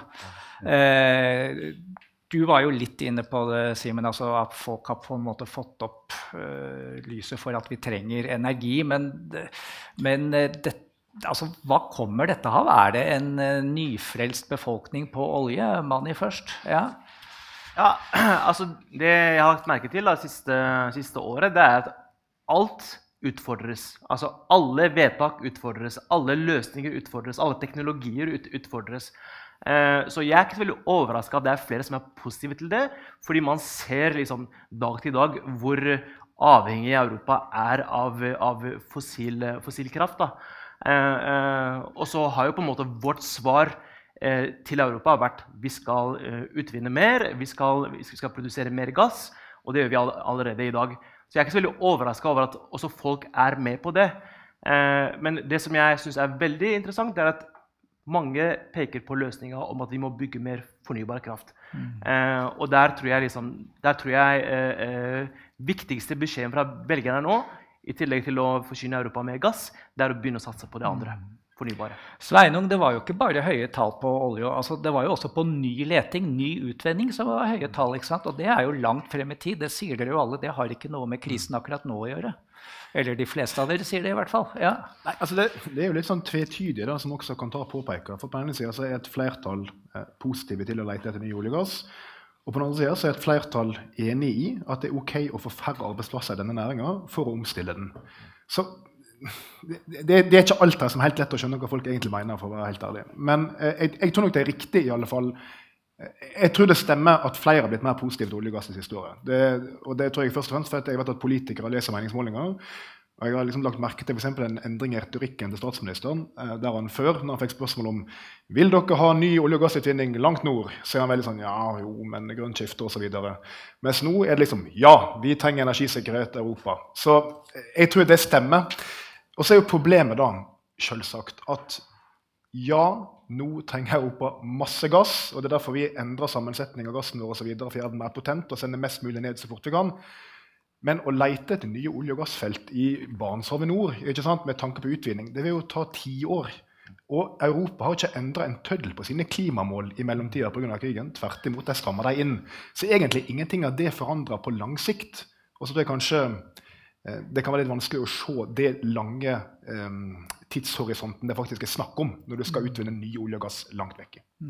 Ja, og jeg, jeg tror også det er litt uh, tvetydig. Altså, hvilket tidsperspektiv er det folk svarer ja til olje i her? Det korte tidsperspektivet er helt opplagt til sånn Europa, uh, Ukraina osv. Men, men det er et- et av de underliggende tallene med forbehold om at jeg sånn, plukka det opp riktig, som er interessant. Det er at det er veldig mange som sier nei til mer oljeleting. Eh, faktisk. I en befolkning som er oljeavhengig, og som er, har stått i olje knes til knes eller til øra i hele sitt liv, eh, i en økonomi, en politisk eh, sammenheng som er ekstremt dominert av oljevirksomhet som hovedvirksomheten i dette landet, så er det likevel temmelig mange mennesker i en sånn undersøkelse som sier nei, vi skal ikke lete mer etter olje. Og det er jo et strategisk og klimapolitisk helt fundamentalt poeng. Det har folk skjønt. Eh, Og ganske mange holder fast ved det. Men sånn det at er, altså, tvetydig- veldig mange, det er temmelig mange det, altså, Greia her er jo at det har vært en utvikling de siste årene. Eh, Altså, det er litt færre temmelig mange. ikke sant? Jo, jo, altså jeg bes- bestrider jo ikke det et øyeblikk. Og så får man da diskutere om er det, liksom, er det Støre og Statoil som har vært dritgode til å overbevise folk om at olje er best, eller er det hovedsakelig uh, Ukraina energi som får folk til å røre på seg eh, kortsiktig, og kanskje en desillusjonert ungdomsgenerasjon som tenker at eh, dette her er ikke de voksne interessert i virkeligheten, de bare snakker om det. Ja, eller de tror på altså det, Flere søker seg til eh, olje- og gassstudier, som jo er mye mer enn olje og gass nå, faktisk. Men altså, de, de tror jo på at det kan Ja, det er, være en fremtid i denne til- bransjen. Ja, det er i, i så fall liksom, seieren til Støres og Equinors eh, informasjon, da, for å være fryktelig høflig i omtalen. Dere, eh, Simen er jo fra liksom, skoledebatt-tiden, så han har replikker hele tida. Eh, ber om replikk hele tiden. Mens dere andre dere er litt sånn Men da tar vi Simen, og så får dere passe på Jeg har dere. bedt om det lenge, ja, ja, jeg eh, så det. Men, eh, ja. Men han brukte to fingre. Du bare ba om ordet på sånn gammeldags måte. Vil du ha to, eller vil du ha Nei. Jeg har lært det at når man prater med folk som er dobbelt så gamle som seg, så er ordet noe man tar, og ikke noe man får. Så da, da benytter jeg meg av muligheten. Men, men jeg, jeg må nok minne resten av panelet på at FPU vant fjorårets skolevalg på å fortsette leting, fortsette satsing og fortsette eksport av norsk olje og gass. Og det er ikke bare et kort perspektiv, det er et langt perspektiv også. Eh, er, vi, er nødt, vi er nødt til å ta inn over oss at etter at EU planlegger å, å nå 1,5-gradersmålet sitt, så skal de brenne 50 millioner fat olje hver eneste dag i petrokjemisk industri. Jeg tror vi alle kan være enige om at fossilbilene skal ut så fort som mulig, men det å late som at det finnes en fremtid uten olje, det er ganske naivt, og det er ingen som planlegger det. Så det at vi skal fortsette å søke, lete og produsere norsk olje og gass, det er veldig, veldig, veldig viktig. Både for vår velstand og for fremtidens arbeidsplasser. Og for ordens skyld, når du sier dere vant skolevalget, så var jo det også relativt. Altså, dere ble jo ikke størst, men dere gjorde det bra. Ja, kom igjen, Nikolai. Var størst fremgang, kanskje? Jeg vet ikke hvordan resultatene var. Ja, men dere ble da ikke aller størst i skolevalget? Nei, det var Nei, vi, Ja, vi, vi, Det var vi, vi var større enn venstre og høyre til Ja, ja. ja men, eh, nettopp. Kom igjen, Nikolai. Ja. Altså, jeg, jeg tror jo at Ukraina-krigen har kanskje har synliggjort eh, litt mer hvordan energisystemene henger sammen, og også kanskje synliggjort konsekvensen av å ta ut en stor del av tilbudssiden sånn helt plutselig. Eh, det får konsekvenser, og vi snakker om en europeisk energikrise, men den virkeligheten er jo at dette er en global energikrise, og at dette går aller hardest utover de landene som nå ikke har kjøpekraft til å konkurrere med Europa om f.eks. LNG. Fordi at vi støvsuger markedet. Vi er villige til å betale hva som helst for å fylle opp gasslagrene våre. Og det er klart at Da er det en del land som ikke får noen ting i det hele tatt. Så dette er ikke noen europeisk energikrise, den er global. Eh, og det understreker viktigheten av at vi bygger opp et alternativ som kan fortrenge det fossile. Og at vi gjør mye mer der enn eh, det vi har gjort til nå. Selv om veksten har vært stor, så må den være mye raskere. den må gå mye kjappere, Fordi det må fortrenge det fossile. Eh, og Gjør du det motsatt vei, så fører det helt bombesikkert til den situasjonen vi står i nå, nemlig en energikrise med store menneskelige omkostninger rundt omkring i verden. Også store konsekvenser for matproduksjonen rundt omkring i, i verden. Så vi står jo nå overfor potensiell sultkatastrofe på i Afrikas Horn f.eks. Eh, etter femte året på, på rad uten regn. Så, så her er det mye som skjer. Men, øh, og jeg tror Det er et perspektiv som vi på en måte er utelatt i denne debatten. Og Når det gjelder norsk sokkel, så mener vi også at vi skal utvikle den. og Det er ikke fordi vi er mot klimamålene, tvert om. Men det er jo fordi vi ser for oss også i et post 2050-perspektiv at denne gassen som vi utvinner, skal kunne brukes til å utvikle blått hydrogen, utslippsfritt, øh, som Europa og Norge kommer til å trenge. Lars? Jeg syns det er interessant at Equinor eh, ser seg nødt til å være med, og jeg regner med at de har vært med på å betale for eh, undersøkelsen. eh, At de ser seg nødt til å være med på det for å få stilt eh, disse spørsmålene. Hvis du går 30 år tilbake i tid, da de første rapportene fra FNs eh, klimapanel kom, så var det jo nærmest grunnlovfesta i Norge eh, at du ikke skulle diskutere eh, oljeutvinningstempo. Det var eh, to grupperinger som gjorde det. eh, eller to grupperinger. Det var Kåre Willoch og deler av miljøbevegelsen. I dag så er jo det et helt sentralt tema. Og så ser da Equinor at man er nødt til å stille dette spørsmålet for å kunne si at et flertall er enig med dem. Eh, Ba du om ordet, Mani, her? Ja. Jeg ba om ordet. Jeg tenkte jeg skal liksom tillegge Støre og Equinor eh, all kred for at uh, ungdom, uh, eller befolkningen, er mer positiv til, til sokkelen. Det, ja, det er en, en, en grei overdrivelse. I, I likhet med alle som sitter, sitter der, så tror jeg liksom alle vi har fått, fått en forståelse av uh, hva på en måte, hva slags energisituasjon Europa står i. Og, og, og når vi ser hvordan en stor del av energiforsyningen blir tatt ut, hva det har å si, da, hvilke drastiske grep det har å si for, for eh, resten av samfunnet. Så jeg tror at eh, bildet er sammensatt. Eh, man forstår hvilken betydning Norge har for energiforsyningen til Europa. Og, og derfor er liksom disse tallene igjen ikke, ikke overraskende. Eh, Siste, tror jeg, til deg, Sveinung. Ja, på dette. Ja, For det første så er vi nødt til å korrigere skolevalgresultatet. for nå ble jeg litt irritert. Men dere fikk altså 13,9% det er bra. Og så fikk Høyre 13,6 Da er Venstre 10,7 Så sånn er det. Dere slo Venstre med 2,2 Jeg skal- jeg skal- det, det får jeg. Men jeg skal stilles til veggs på det resultatet, så skal jeg få lov til å svare på det også. Det var ikke ment for et veldig seriøst angrep. Altså. Jo, men la Simen svare. Det var Ah, jeg ok, som surra okay. det til. Vi har, vi har litt god tid i dag, så du skal få For, lov for til det. For ordens skyld, vi hadde en dobbelt så stor økning som noe annet parti. For det andre ble vi større enn noe miljøparti. Og for det tredje så stoler både norske ungdommer og våre velgere på at våre løsninger fungerer. Og så kan Venstre mene hva de vil om at valget ikke gikk som de ville, men det, må du stoppe. Nå må du stoppe. Nå fikk du sagt alt det, og så følger vi ikke opp det noe mer. Men nå skal du få ordet til det du ville si, Svein. Ja, det jeg ville si var at det vil si at, altså jeg var på, på mandag så var jeg på Kårstø, um, som prosesserer gass. Leverer 25% av norsk gass til Europa. Og Da møtte jeg um, unge lærlinger der som jobba med det. Og Jeg tviler ikke et sekund på at de var stolte av jobben sin. Ikke sant? Altså, de føler de gjør en viktig jobb. Og Mange i olje og gass føler at de gjør en viktig jobb, og vet du hva? det gjør de. Og Det er helt sikkert sant at det er mange som nå er mer positive til den jobben Norge gjør her, enn før. Men det mener jeg er ikke den viktigste debatten vi har. fordi at det som nå skjer i Europa, er ikke at Europa nå skal trappe opp satsinga på olje og gass. Dette er trappe opp satsinga på fornybar energi. Fordi det har vært for avhengig av fossil gass fra Russland. Og det er det bildet vi nå må forholde oss til, og ikke låse oss i et sånn tre til fem års scenario. Vi må tenke lenger fram. Og det er det leitespørsmålet handler om, og de to man skiller fra hverandre. Dere, jeg har skrevet Jeg syns vi må snakke skikkelig om enøk. Vi må snakke om, litt om bilpolitikk. Eh, det med bare Akkurat siden vi er inne på energikilder, dette med atomkraft eh, er, altså, Det har vel både MDG og Venstre hatt på landsmøtet, og det er politisk dødt fortsatt, ikke sant? Selv om det her er en stor eh, økning i befolkningen, så er det Jeg tror, det er, jeg tror det er, ærlig å si at det er litt mer skinndødt enn det var for uh, noen år siden i, liksom, i miljøbevegelsene. Det har jeg med altså, Selvfølgelig igjen litt krigen men, eh, og energikrisa, men også liksom, diskusjonen om teknologisk utvikling. Eh, Al- altså, jeg må bare tenke skinndødt. Altså, det er et levende spørsmål i Ja, det, miljøbevegelsen. er, det, er, det er jo et levende spørsmål, vil jeg, uh, vil jeg nok si. Men uh, jeg får jo la være å uttale meg på vegne av andre partier. Men uh, det skjer jo, en, det skjer jo en teknologisk utvikling som folk eh, merker seg. Og så får vi se hva, liksom, hva faktum blir. De litt større partiene, da, bare få eh, Ja. Ja, altså det er jo, det er jo eh, noen stemmer som også taler for det innad i vårt eget parti.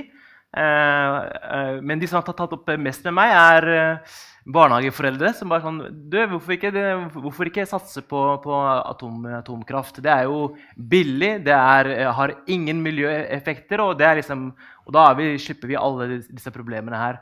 Og det, det Premissene her stemmer jo ikke helt. da. Det er jo ikke særlig billig. det er bare å se på Finland. Og det har noen miljøaspekter. Når jeg spør ja, hvor skal vi plassere avfallet, så blir alle helt hvite i, i trynet.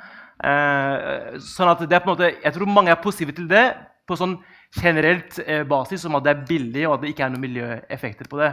Men eh, får, får, får du kontrollspørsmål, så tror jeg flere blir skeptiske. Lars, også, Nikolai, og så Simen. Ja. Diskusjon om atomkraft er det vel i alle partier, men vi har slått fast at vi eh, ikke ønsker det. Og jeg tror at eh, hele vindkraftdebatten kommer til å blekne hvis spørsmålet om lokalisering av et atomkraftverk eh, kommer opp i Norge. Eh, og hvis du nå klarer å bli enig om hvor det atomkraftverket skal ligge så skal du bli enig om etterpå hvor eh, avfallet skal ligge hen. Eh, dette kommer til å ta mange år, og vi må ha løst klimakrisen før uh, vi har diskutert ferdig hvor atomkraftverket og søpla skal ligge. Veldig kort til deg, fordi du, du jeg trenger ikke legge til noe. Ja. Nei, nettopp. Uh, Simen? Ja. Takk. Jeg, jeg, jeg, har lyst til å slå et slag for, for kjernekraften. Jeg. Fordi, for det første, dette finske kraftverket som var så dyrt, Mani, det er også det mest høyteknologiske, nyvinnende kraftverket i atomkraftverkenes historie omtrent. Så det at det er dyrt, det er ikke så rart, for det var veldig mye forskning og utvikling også. Det går an å kjøpe billigere kraftverk enn det. Og for det andre, når du snakker om lagringsplass Det samme landet, Finland, har akkurat lagd permanent lagring, altså 100 000 års perspektiv lagringsplass for 10 000 tonn radioaktivt avfall. Og Jeg kan godt være med på diskusjonen om lokalisering av kjernekraftverk, men det å si at de er kjempedyre og man ikke klarer å lagre noen ting, det er en faktafeil. Så det hadde jeg bare et behov for å poengtere. Takk. Ja, Sveinung, ja. Det er dessverre ikke en faktafeil. fordi altså, Frp er jo for en fast pris på strøm på 50 øre, tror jeg.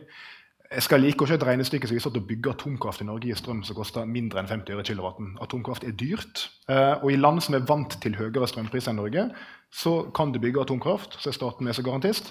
Men altså, hvis Olje- og energidepartementet i morgen lyste ut en konsesjon til å bygge atomkraftverk i Norge, skal jeg love at det er nøyaktig null industriaktører som hadde gjort det. Fordi de ville krevd store statlige subsidier for å sette i gang. Ja. Og du presiserte ikke at spørsmålet ditt var i Norge. Ja, ja, da, jo, så, da, er det jo helt klart at det er ingen okay, som går inn for det. Eh, da er vi vel ferdig med den. Da går vi over på energiøkonomisering. Der er vel alle enige om at det var forferdelige tall. Eller, men de var kanskje veldig ventet på hvor få som vet om hva de kan få av tilskuddsordninger. Ja, Sveinung først. Men Én ting er å spørre folk hva de syns og hva de vet, men jeg synes ofte det er mer interessant å se på hva folk gjør. Og hvis du ser på det, så er altså installasjonen av solceller på tak tredobla i år i forhold til i fjor. Jeg har ikke sett tall for varmepumpe, etterisolering og doble vinduer, men jeg er ganske sikker på at det også er mye høyere enn i fjor. Og Det er kanskje litt fordi en har styrka enøkstøtteordninger osv. Men det er selvfølgelig mest pga. strømprisen. Og da er du tilbake til det vi om i sted. Altså, Pris betyr noe. Og Folk er vant til å tenke at å varme opp husene sine og bruke strøm det koster ingenting. Nå koster det ganske mye mer. Da tror jeg mange ser en stor verdi i både å få ned den regninga for seg sjøl og øke verdien for videresalg av boligen sin. Og Det er én ting eiendomsmeglere sier nå når det er visninger så er det at folk som er på visning nå, spør om energieffektivitet i boligen. De spør om strømløsning, de spør om hva det koster å vare mot dette. her. Det gjorde de ikke før. Det, det, det, der er et viktig poeng, og det bringer også rett over til det mannen fra Nelfo øh, pekte på, nemlig at en hovedsvakhet i klimapolitikken i Norge til nå har jo vært at den handler om uh, verden og, og, Equinor og, alle mulige sånne ting som er veldig langt fra folks hverdag. Det å bringe klimatiltakene bokstavelig talt hjem til folk, Eh, og å koble det med, med, med enda tydeligere med transport. Eh, det vil jo også øke engasjementet, fordi det vil øke det bokstavelige eierskapet i tiltakene. Så jeg tror liksom, verdien av å investere politisk og økonomisk i eh, både pisk og gulrøtter Det er farlig å drukne folk i gulrøtter. Det, det, det har ingen som har noe godt av. Eh, men, men, det å gjøre det, både politisk og økonomisk, er også en maskin for å øke engasjementet eierskapet.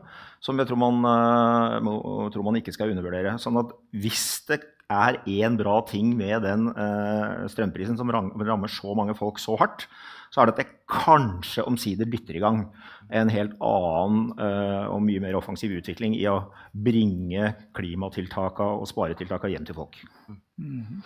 Er alle enige i det? Ja, Mani? Ja, ja, altså, jeg, jeg, er enig i begge disse, disse innleggene.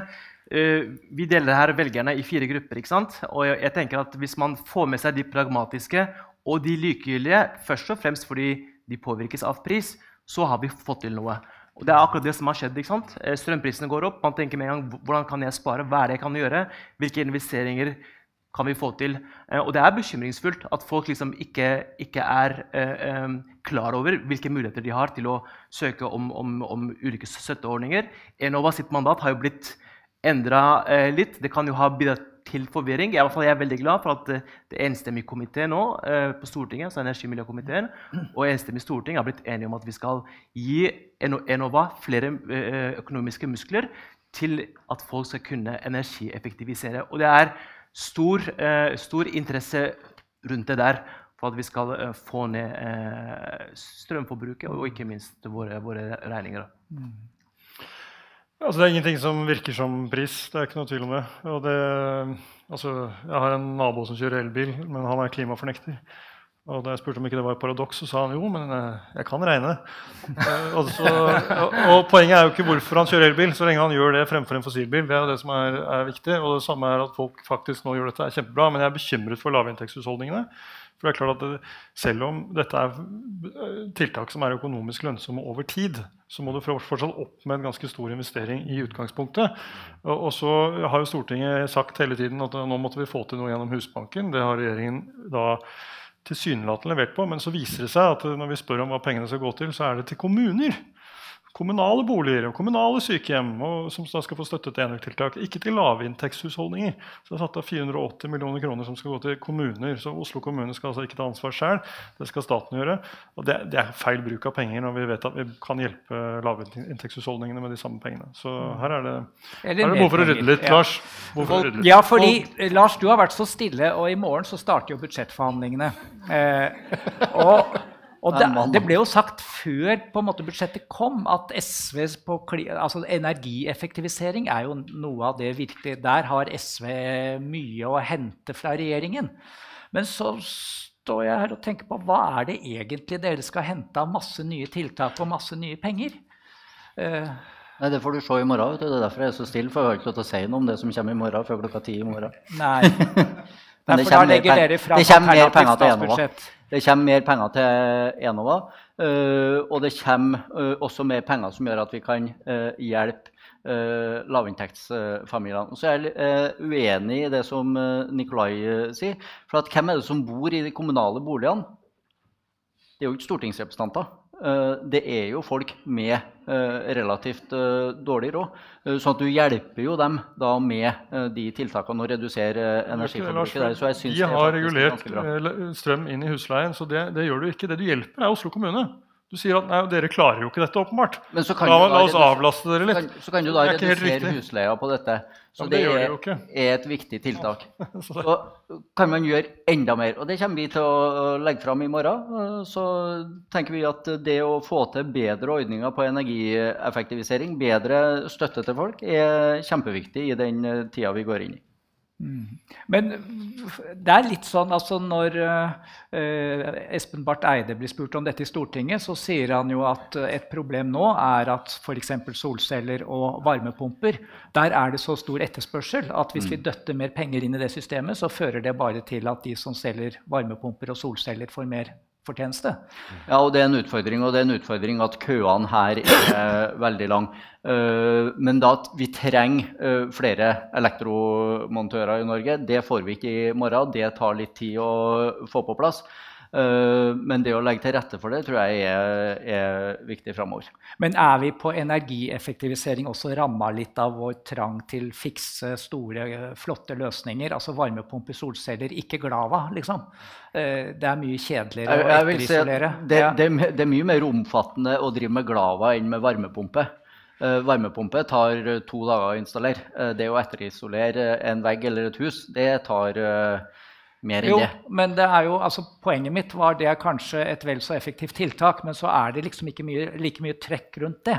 Nei, og det har ikke vært like mye støtte på det, men der har vi nå også fått til da, gjennom uh, stortingsvedtak uh, at uh, du skal kunne få støtte til å etterisolere deler av boligen din.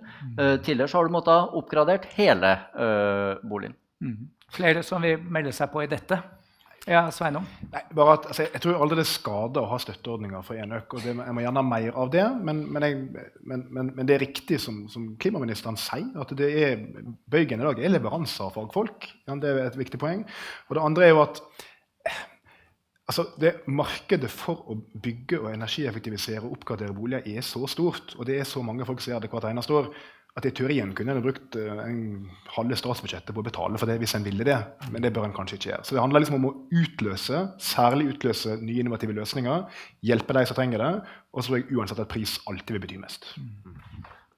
Ja, det var Rasmus jeg pekte på. Ja. Ja, ja, Vi ligner, vet du. Så det er det. Sjelige. Ja, jeg beklager. eh, Rasmus. Eh, nei, altså, det, det ene poenget er at det, det er jo ikke noen motsetning mellom eh, isolasjon og det å produsere ny energi. Eh, For det, liksom, eh, solceller og til en viss grad varmepumper er jo et spørsmål om å øke tilgangen på energi.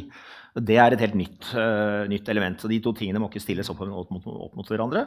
Og så er det uh, Ja, det er flaskehals uh, nå. Det ville det for så vidt blitt om det var i forfjor også. Fordi at markedet har vært holdt veldig lite pga. veldig lite innsats. Så det er jo bare en delvis god unnskyldning at den flaskehalsen oppstår. Det man må gjøre, er å planlegge langt nok til at man kommer seg fortest mulig gjennom den. Eh, og, og, der har regjeringen en hel del å gå på fortsatt. Det å utløse de enkle tiltakene hjemme hos vanlige folk som ikke trenger eh, fancy teknologi og Enova-støtte til det, men som trenger å, å eh, effektivisere og gjerne øke energiproduksjonen på boligen sin. Tror du det hjelper eh, statssekretæren her la vekt på en svær informasjonskampanje om hva Enova har av tiltak? Ja, jo, altså? Akkurat Enova er jo, er jo et litt sånn mystisk tilfelle. En så stor etat med et så viktig uh, mandat som klarer å være så hemmelig. Eh, det er jo noe som en statsråd eh, burde snakke med ledelsen i Enova om. Eh, og det har jo vært et vedvarende problem. Eh, Så det burde vel Enova selv klare. Men jeg er ikke noen motstander av en informasjonskampanje for å få bruken av de midlene, men da må det også følge mer midler. det var, eh, hadde du replikk på dette før, Nikolai? Eller? Ja, Da ja. får du det også, Nikolai. Ja. Altså, det jeg tenker som er viktig med, med, med ulike støtteordninger, er jo også at de ikke bidrar til å få prisen opp. Sant? Og hvis vi ser på, på, på solceller, da, så ser vi, jo, ser vi jo nærmest en dobling av hvor, hvor mye det kosta kontra i fjor. Det kommer av, av, av etterspørselen. Det kommer selvfølgelig også av dyrere råvarer og frakt osv. Men jeg tenker liksom, hvis de vedtakene vi gjør, har som intensjon å få til at flere eh, investerer i dette her, men det ute i markedet bidrar til at prisene egentlig bare går opp, eh, og at leverandøren sitter med mer, så tror jeg liksom, det er jo en balanse her. Det er en balanse, og det er vel det som Smart Espen Barth Eide også peker på. Da, at, du, må, du må alltid ivareta den balansen.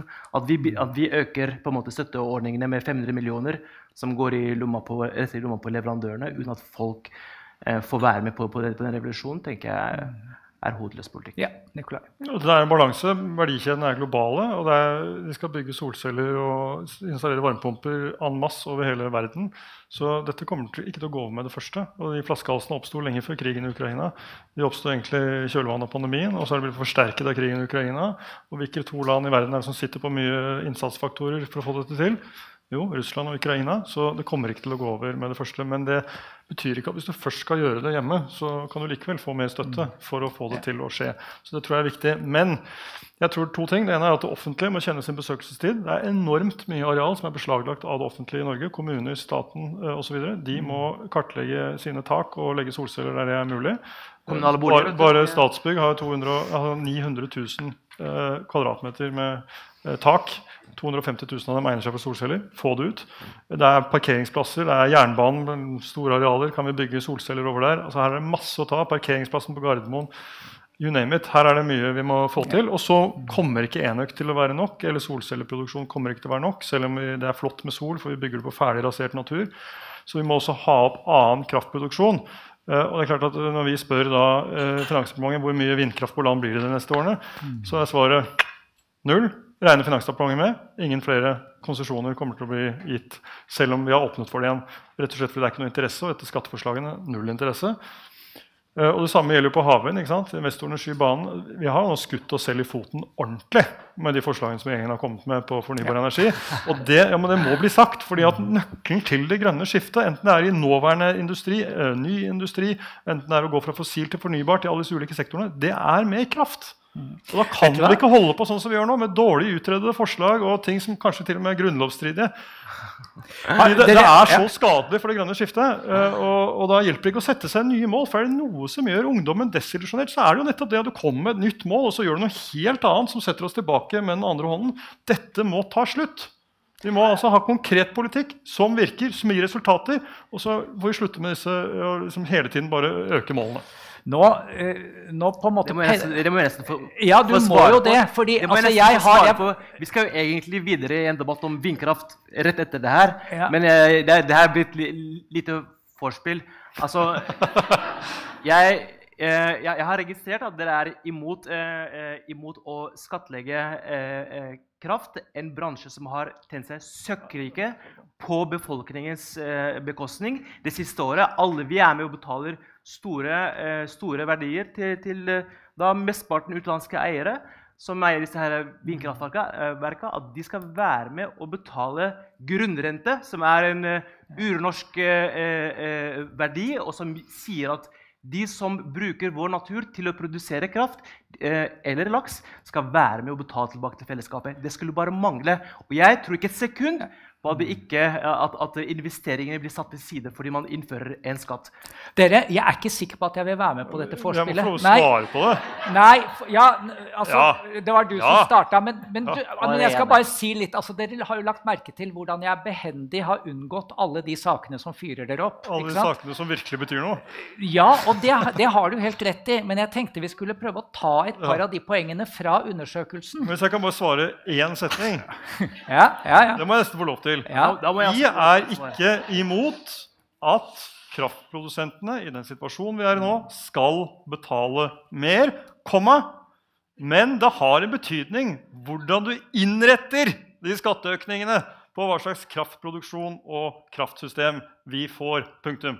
Og da er vi veldig spent på hvordan Høyre har tenkt å innrette sine. Og okay. en setning til? Og det der er bare halve historien. Vi må snakke om den eh, andre halvparten snart. Også, og de, dere har helt rett i at dette er veldig relevant. Og spesielt det siste Nikolai sa, som jeg hørte folk her sa, at ungdommen kanskje mister troa når man stadig vekk lover ting som ikke blir noe av.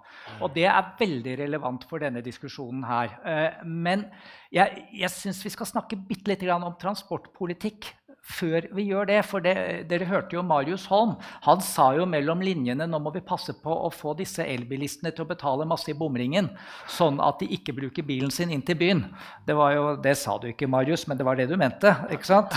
Eh, og, og det er jo, og da vil jeg også at dere ikke skal begynne å diskutere for og imot moms over 500 000 eller vektavgiften, men at dere skal diskutere litt grann denne her eh, av, altså I hvilken grad det skal være dyrt å kjøre elbil. Altså i hvilken grad man skal bruke pisk.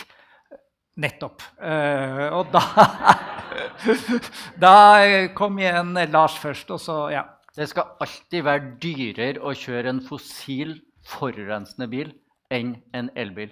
Og vi mener at det prinsippet som man har lagt seg på, er med at det ikke skal koste mer enn 50% f.eks. i eh, bompengeringen, er et riktig prinsipp. Eh, Der foreslår regjeringa nå at elbilister skal betale 70 eh, prosent, eller at kommunene skal kunne eh, kreve inn eh, 70% Det mener vi er feil. Det skal alltid lønne seg skikkelig å kjøre nullutslipp. Simen? Ja, det, det er jo skummelt hvor mye jeg er enig med, med SV i denne debatten. her, men, men det er jo åpenbart at for de som ikke, er, eh, for de som ikke sitter på Stortinget for MDG, så, så har jo pris på fossilutslipp noe å si. Og jeg mener jo at forurenser betaler-prinsippet er helt fair. Jeg mener at det er en fornuftig innretning av systemet. Men jeg syns også at det, der, det skal være dyrere med fossilt, er jeg uenig. Jeg syns vi skal legge til rette for at det blir billigere med de gode løsningene, enn at vi skal, bare, eh, enn at vi skal gjøre det dyrere med de dårlige løsningene. Eh, Så jeg satser i mye større grad på gulrot enn på pisk. Eh, Og så var det en som sa at nei, man vil ikke drukne gulrøtter, men jeg har ikke lyst til å bli piska heller. Så det, det er noe med det. Ja. Er det andre som ville si noe? Sveinung? Da, ja. Det er altfor mye biler i de store byene våre fra før. Eh, og En må i alle fall sørge for at du ikke får noe vekst i dette. her, og det gjelder alle storbyene våre. Og Da skal en ikke være redd for å ta i bruk virkemiddel altså helt uavhengig av elbil og fossilbil når det gjelder å ta vekk parkeringsplasser, eh, sørge for at det er mer attraktivt å ta kollektiv i byen. Alt det der. Jeg er med på det. Men det viktige du må gjøre, og som du må holde fast med, det er utskiftinga av bilparken som sådan. Og det at du ikke må nå selge flere fossilbiler. Fordi vi har et mål 2025 100 nullutslipp. Og selv om du ikke vil at vi skal snakke om det, så betyr det da noe hva det koster å kjøpe de bilene. Og det betyr noe at nå blir viktige, populære elbilmodeller for helt vanlige folk 30 000 kroner dyrere, 50 000 kroner dyrere, 70 000 kroner dyrere. For jeg innfører en sånn vektavgift på alle elbiler. Fra de billigste til de dyreste. Det er et problem. Men eh, kan du ikke si noe med å bruke elbilen, da? Altså, mener du at også der kommer dette argumentet ditt inn om at eh, hvis man nå gjør det dyrere å bruke og kjøre elbil, så vil man også kunne risikere å stanse denne elbilutviklingen som er på gang? Mener du det? Det er jo summen. Fordi det var jo Ja. der dere egentlig var da du var i regjering. ikke sant? Nei, altså i regjering så har jo vi Det vi gjorde i regjering, det var vi holdt fast på kjøpsfordelene ved elbil. Økte ikke momsen noen gang. Kjempeviktig for Venstre å sørge for det. Og så gjorde vi noen endringer på bruken av elbil. ikke sant? Vi innførte ei, årsavgift, eh, en gjorde endringer i bom, eh, parkering, ferje. Så det hadde jo vært en gradvis utvikling på, så vi er ikke redde for å gjøre. Men det er kjøp som er det aller aller, aller viktigste. Og hvis du skal begynne å gjøre det mye dyrere å kjøpe det, som regjeringen nå gjør, ja, da kan du i det minste gjøre det billigere å bruke det. da. Men det gjør det heller ikke. Så det er jo summen som betyr noe. Ja. Rasmus? Ja, det interessante her eh, er jo at det er nok lite uenighet om at forurensende, biler bør være dyrere enn eh, enn ikke-forurensende biler. Og som, om det nivået ligger der eller der, eller der, det kan man jo kan man diskutere. Men det som Marius Holm pekte på, eh, det er jo at vi løser ikke noe klimaproblemer bare ved prisdifferansen mellom eh, dieselbiler og, og elbiler. Vi begynner å løse klimaproblemet hvis vi ser på hele transportpolitikken. Eh, og dersom summen av eh, elbilpolitikken eh, bare blir at det er enda mye flere biler på enda flere og større og bredere norske veier, så er ikke det klimaregnskapet godt.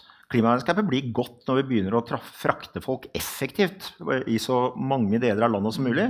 Byer, eh, langdistanse osv. Så, videre, så er det ikke noe tvil om at det er innmari mye lurere å putte folk inn i en jernbanevogn enn å la dem kjøre én og én bil på en eh, ny, diger vei. Og vi, vi, det er noe av problemet i den norske klimapolitikken. At det er en veldig sterk uvilje mot mot å ta inn den helheten. Og da er vi litt tilbake til undersøkelsen. Dette tror jeg folk skjønner. Jeg tror folk ser den mangelen på, eller den uviljen mot å ta inn helheten. Eh, og til å konsentrere seg om bare sånne enkelttiltak som disse budsjettdebattene har en tendens til å handle om. Dere skal få ordet, men jeg ville bare akkurat høre, Lars, er du enig i det Rasmus sier? For det, det er jo litt spesielt interessant rett før du skal i de forhandlingene med regjeringspartiene.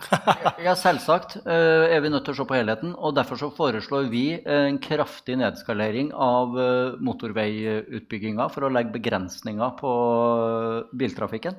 Eh, Vi foreslår en opptrapping skjønner nå kommer det budsjettlekkasjer på rekke og rad, eh, en opptrapping av eh, disse byvekstavtalene, hvor byene også forplikter seg da, til å ikke øke uh, biltrafikken. Og så ser du i kommuner hvor SV er med å styre, bl.a. i Trondheim, så fjerner vi parkeringsplasser fra gatene i eh, Trondheim. Legge til rette og bruke dem i stedet til gang- og sykkelveier. Blir, mye okay. blir en enda triveligere by enn det var. Ja. Det er så vanskelig å la seg gjøre, men ja. Mani og så Nikolai. Jeg har eh, to poeng. Det første det er at etter pandemien så har mange av oss som er pendlere, togpendlere Jeg pe- pendler daglig. Ikke så langt, da, bare fra Kolbotn eh, til, til Oslo. Eh, mange av oss eh, eh, slutta å ta toget og begynte å kjøre bil istedenfor. Eh, og de få gangene jeg kjører bil inn til Oslo, så ser du det er jo liksom det er jo mange elbiler. Kanskje til og med et, et, et, et overtall av disse elbilene. Eh, og det er klart, vi vil jo ha de på tog og buss. Det er det som er med å redusere klimagassutslippene. Så det er det, det er det ene poenget. Det er det ene poenget. Så jeg stiller meg undrende til at dere er imot den, den, den muligheten regjeringen nå gir kommunene til å øke bompengesatsen 50 til, til, til 70% Jeg tror i hvert fall det jeg- For alle rasjonelle aktører da, så, så vil Hvorfor skal du gjøre så det, vil- så vil- hvorfor skal du gjøre det billigere å kjøre fossilbil? For det er jo det du faktisk gjør. Du reduserer elbilens konkurransekraft i kampen mot fossilbilen. Hvorfor skal du gjøre Det Det er fortsatt billigere å kjøre elbil Om du reduserer konkurransefordelen, hvorfor skal du gjøre det? fossilbil. Det er fortsatt billigere, Lars. Vet du hva, her falt jeg av. Jeg beklager. Altså, hva er striden akkurat her? På bom, altså- hvor høy eh, skal eh, bompengene som elbiler betaler, kontra fossilbiler? Ja, men hva de I snakket om kommunalt selvs... Altså, I dag, i, i, altså, I regjeringens sitt nye forslag så kan kommunene, altså Oslo kommune og Viken, da øke den andelen til 70 ikke sant? Og det her, Å ja. Elbil. Å ja, da er jeg med. Ja, ikke sant? maks 50. Ja, ikke sant? Så, så, at, sånn at det, det kommer til å gjøre det dyrere for alle bilister eh, og kjøre, kjøre denne bilen inntil, eh, inn til, inn, eh, inn til byen. Og da, for at man skal kunne da Ikke, ikke hvis, bompengene blir, forblir de samme som i dag, eh, så gjør du det kun dyrere for elbilistene, og så har fossilbilistene den samme prisen som Det før. fortsatt- Det er jo helt Det er motsatt vei av hva du faktisk Ja. trenger å gå. Det er fortsatt rimeligere. Ok, eh, Og hvorfor legger du ikke på Nikolai står i kø, da? eh, men hadde du noe direkte på dette? Ja. Ja, da får du det først, og Hva tror du jeg skal snakke om, egentlig? Jeg vet ikke, jeg. Ja, Vær så god, Sveinung. Takk skal du ha, Det- Var det fjerde gang, så Ja, Er det det? Ja, ja. Du ja, ja. klarer deg, du ta- ta det med han. Ja, Um, kom igjen. Ja. Mitt poeng det var at Arbeiderpartiet sier at de er bekymra for at folk etter pandemien kjører bil og ikke tar tog, og de vil ha dem tilbake på toget, så har de null troverdighet. For det er ikke det regjeringa sier til Stortinget. Til Stortinget i revidert nasjonalbudsjett skriver regjeringa at en må tilpasse seg en ny normal i kollektivtrafikken. Les færre skal bruke kollektivtrafikk. Du skal ikke opp på det samme nivået som før pandemien. Det var det jeg mente, og derfor så ga de jo ikke heller kollektivselskapene nok penger til å opprettholde godt nok rutetilbud. De kutta. Derfor gir de ikke jernbanesektoren no, nok penger. Nå øker vedlikeholdsetterslepet med over en milliard kroner. Så du kan gjerne si det her, Mani, men det er jo det motsatte regjeringa de gjør.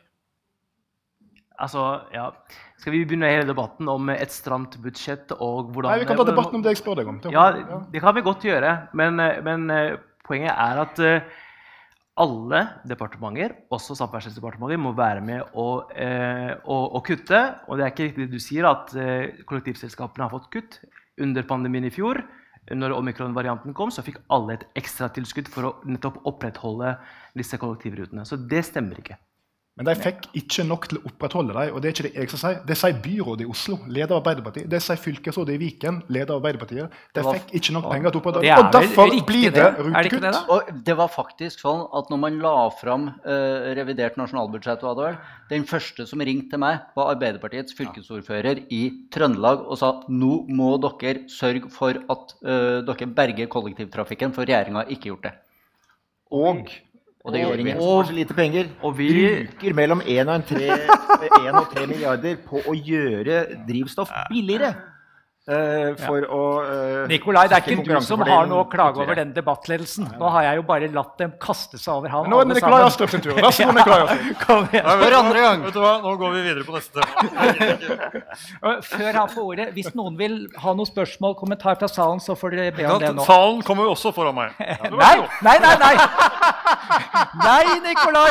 Det var bare sånn at jeg skulle vite om det var noe Ja, ja. trøkk der ute. Kom igjen. Men etter at dere har snakket, så kan jo de kommentere, da. Så eh, punkt én. Vi må ha et bilavgiftssystem som gjør at vi når 2025-målet.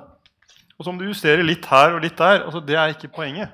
Poenget er at det må være eh, kraftige insentiver til at vi når målet i 2025, og at vi holder oss der. Eh, Og da hjelper det ikke sånn som man har gjort nå med for å gjøre det mindre gunstig å ha elbil som firmabil, og mer gunstig å ha eh, fossilbil som firmabil. Halvparten av nye biler som selges i Norge, er firmabiler. Så la oss ta, ta det med i, i, regnestykket. Og så eh, tenker jeg at Når det gjelder jernbane, kjempebra med mer effektiv jernbane eh, mellom steder hvor det bor mange mennesker. Men klimaregnestykket ved å bygge jernbane til steder hvor det ikke bor mange mennesker, det er så enormt dårlig at jeg vil heller satse på øh, sant, videre, elektriske Widerøe-fly. Fordi det er, som Nord-Norgebanen for eksempel, Tilbakebetalingstiden klimamessig på å bygge Nord- Nord-Norgebanen det er altså, minst 100 år. Og Innen den tid har vi forhåpentligvis løst alle utfordringer knyttet til utslipp fra luftfart, øh, som er mer effektivt, mindre naturinngrep osv. Så, videre. så Så vi må, alt må brukes der hvor det passer best. Og skinnegående transport er ikke best overalt. Noen ganger er det best med en elektrisk buss. Eh, noen ganger så må vi faktisk erkjenne at bilen er kommet eh, for å bli, eh, særlig i Distrikts-Norge. Og da må vi også ha en trygg vei å kjøre den på. Og la oss ikke gjøre det til en debatt om for eller mot om vi skal bygge sikre veier i distriktene. Det må vi også ha. Jeg syns du skal være fornøyd. Du fikk snakke helt uimotsagt. Og nå gir jeg ordet til en i salen som har bedt om ordet, så kom igjen. Ja. Ja, hei, takk for det. Gunelie Vinum fra Ducky, Folkets fotavtrykk. Eh, Det var nevnt i innledningene her fra Nelfu og fra, også fra Viken fylkeskommune, tror jeg, om at folk viser vilje til å bidra, men spør seg litt hvordan. Det er også noen ting av det vi holder på med. Vi måler eh, forbruksbaserte utslipp. eh, og har et kart over nordmenns utslipp som kommuner og fylkeskommuner bruker som verktøy i den klimaarbeidet for å involvere forbrukerperspektivet i klimaarbeidet. Og så har vi også fantastiske resultat fra Vi kjører sånn eh, klimakonkurranse for videregående skoleelever og for ansatte i bedrifter, hvor at de gjennom hverdagsaktiviteter eh, sparer på sitt eget fotavtrykk da, og har resultat der på at folk er med på å spare sånn opptil sånn 20 opp til 30% på de beste konkurransene på det å bidra til reduksjon av utslipp. Så summa summarum så er da det at vårt fotavtrykk, vi som forbrukere, vi har et enormt fotavtrykk. Vi har faktisk da beregna at det ligger på sånn rundt 11 tonn per innbygger per år. Eh, eksterne forskere har sagt at for å, nå Paris-målene, da, så skal det ned på tre tonn per globale innbygger per år. Så vi nordmenn skal altså da ned fra 11 tonn per år, eh, CO2-ekvivalenter, ned til tre. Så da utfordrer jeg panelet litt. Da, til vet ikke hvem, bare ta ordet den som vil. Men hvordan tenker dere at vi skal komme dit? Det var jo ikke noe lite spørsmål. Eh, vi har Altså, er det noen som vil gripe ordet med en gang? Eh, ja, Rasmus Hansson skal få begynne der. Ja. Ja, altså Du setter jo saken der den skal være. Det er det som er forskjellen mellom 11 og 3. Eh, og det er jo en del sånne overordnede systemsvar på det. Og det ene er at vi er nødt til å utvikle en økonomi hvor produksjon og, og hele livsløpet av varer blir sirkulært. Fordi mye av det du snakker om, er, eh, er eh, eh, vareimport osv. Så, så er vi nødt til å se på det vi har snakket om, transporten vår. Eh, vi, vi har et veldig stort utslipp knytta til måten vi flytter på oss på, og da må vi være villige til å gripe også til noe annet enn gulrøtter for å vri transporten i en riktig retning. Og så har vi en oljevirksomhet som mange av disse paneldeltakerne syns er veldig lur å ha i det vide og breie, som bidrar til veldig mye av våre utslipp, i tillegg til tigangeren uh, ute i verden. Og den tigangeren havner altså i atmosfæren og lager økt global oppvarming, enten vi kaller den norsk eller ikke. Uh, karbonatomene er norske. Uh, det er jo de hovedtiltakene vi må drive med. Og så har jeg tro på at dersom det blir tydeligere for folk at dette er den nasjonale dugnaden, så vil også viljen til å eh, se på sitt eget forbruk eh, og sin egen atferd øke. fordi da føler man at man med rette i større grad at man er en del av noe. Hvis akkurat bare jeg skal leve i sekk og aske. Vet du hva, jeg tror eh, MDG er fortsatt, ifølge undersøkelsen, det absolutt reneste eh, klima- og miljøpartiet. Eh, og jeg tror vi nøyer oss med det, fordi vi må være helt presis siden vi sender på nettet på avslutningen. Og så syns jeg at i stedet for at vi bruker de siste fire minuttene på at jeg tror de vil si mye av det samme, så har jeg veldig lyst til at vi avslutter med det som Nikolai var så vidt innom, og som mange tror jeg tenkte på i morges med, eh, da de hørte Jonas om de nye målsetningene vi skal rapportere inn til FN at eh, det at vi hele tiden holder på med disse målsetninger altså nå, er vel til, nå, er vel, eh, nå har vi vel bare to målsetninger nå, da, for nå, det som står i Hurdalsplattformen er noe likt med det vi Er det ikke det fortsatt? der? er. Vi har en haug med Vi har flere ulike klimamålsetninger. Eh, Jonas sa i morges at vi må jo få orden på sirkulær, sirkulærøkonomien. Det må vi få til. Og så oppfatter folk at det er teknisk, at politikerne lover, og at ingenting skjer. Og at det er en stor forklaring på at man mister kloa på dette her. Er det noen, Der vil jeg ha alle med meg, eh, rett og slett. Og da tror jeg kanskje jeg skal begynne med den unge i panelet. Eh, Kom igjen, Simen. Den yngste. Takk. Det var hyggelig å bli kalt voksen og greier. Det tar jeg som et stort kompliment. Nei, jeg, jeg tror jeg er enig i analysen din at når man snakker om 50, 50% 55% 70% og 60% og alle står og kakler over hverandre, det er liksom en sånn, nesten som en sånn pissekonkurranse på å ha størst prosentkutt, mm. Eh, så tror jeg det i en ren form er veldig negativt for debattklimaet. Eh, jeg er mye mer positiv til at man diskuterer løsninger og de store linjene. Og jeg tror at folk er klar over at dette er vanskelig, komplekst og kommer til å kreve mye. Eh, men som det ble dratt opp tidligere, da, vi endret livet vårt på en femøring da det ble pandemi. Så jeg tror dette i stor grad handler om bevisstgjøring på hva enkeltmennesker faktisk kan bidra med. Eh, og da tror jeg vi politikere skal love litt mindre og gjøre litt mer. Takk. Eh, og så Lars, nå tar jeg det litt uforberedt på dere. Ja. Veldig kort. Jeg syns det var veldig bra at regjeringa økte ambisjonsnivået til et kutt på 55 og så gleder jeg meg til budsjettforhandlingene starter på mandag. For da regner jeg med at regjeringa kommer med ei ny liste med klimatiltak som kutter utslippene mer enn ja. det man har gjort i det statsbudsjettet som har lagt fram. For at allerede i det statsbudsjettet så lå vi langt unna å nå de målene ja. vi hadde. Eh, Nikolai, hva hva tror du om betydningen av dette for at folk mister troa? Altså, er det en kobling her? Altså, jeg er redd for at uh, folk ser at på den ene siden så lover man mer, og på den andre siden så fører man en politikk som fører til mindre. Og, og den dissonansen der den påvirker folks oppfatning av hvor viktig dette egentlig er. Altså, Hvor viktig kan det være da, når man jo gjør noe helt annet enn det man sier man skal gjøre? Eh, og Hvis du leser den grønne boken til Espen, som på en måte er det eneste han har levert til Stortinget siden han tiltrådte, så er det jo veldig lite imponerende, det som står der. For Espen sier jo alle de riktige tingene. Men det er altså fire tallfestede kutt. Fire. Jeg måtte dobbeltsjekke det tallet. Det er, det virkelig bare fire? Eh, og de fire er veldig, veldig eh, små. Så eh, her er det behov for å gjøre mye, mye mer. Eh, fordi da får vi også folk med oss. Mm. Ja. Eh, Rasmus? Altså, Tallmagien er jo noe som gjør folk uh, sjøsyke. Og regjeringens gamle mål var mer enn 50% Nå er det blitt 55% Og så kan jo semantikerne kose seg med hva som er forskjellen mellom mer enn 50% og 55 uh, som vi uansett blir pålagt å levere av EU. Uh, i Det hele tatt. Og det som ikke kom så godt frem, det er at fra 2021 til 2022 er vel, så har altså Norge kutta 0,4% klimagassutslipp. Det ble justert av SSB nå. 0,7. SSB har justert det de siste ja, okay. dagene. Ja. Men det er fortsatt ikke sant? Det er der vi befinner oss. Uh, og før uh, regjeringer kan vise til noe mer enn det, mm. så er det jo vanskelig for folk å få trua. Ja. Um, det norske klimamålet for 2030 det var 40% kutt.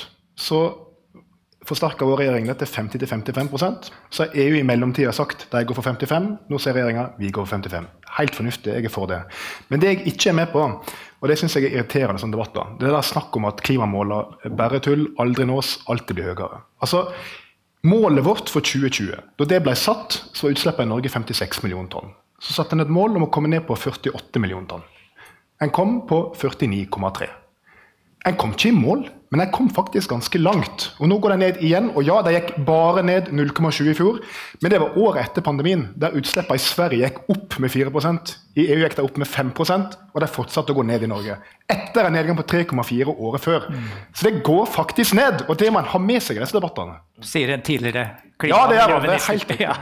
uh, Mani, hvis du oppfører deg pent, får du siste ordet. Ja, det er fint. Nei, jeg tror at uh, de klimamålene som vi setter på Stortinget og i regjering jeg tror liksom, uh, Hvor mye folk forholder seg til det, eller syns at det bidrar til at de kutter mer eller ikke, det tror jeg er helt irrelevant. Jeg tror det må leveres ulike løsninger til forbrukerne. Enøk, elbil, kollektiv, det har vi vært inne på. Og så tror jeg det som er med de målene, det er at det er en ambisjon til næringslivet, til andre land, eh, til de store punktutslippene om hvor er det vi skal hen. og Derfor er det viktig, og det er helt riktig som Sveinung sier, de bidrar faktisk til å redusere utslippene. Ok, ja. Uh, tusen takk til dere. Tusen takk til alle dere i salen og alle dere som har fulgt oss på nett. Og ikke minst til Kantar som har laget uh, klimabarometeret. For på vegne av dere så sier jeg da vel hjem.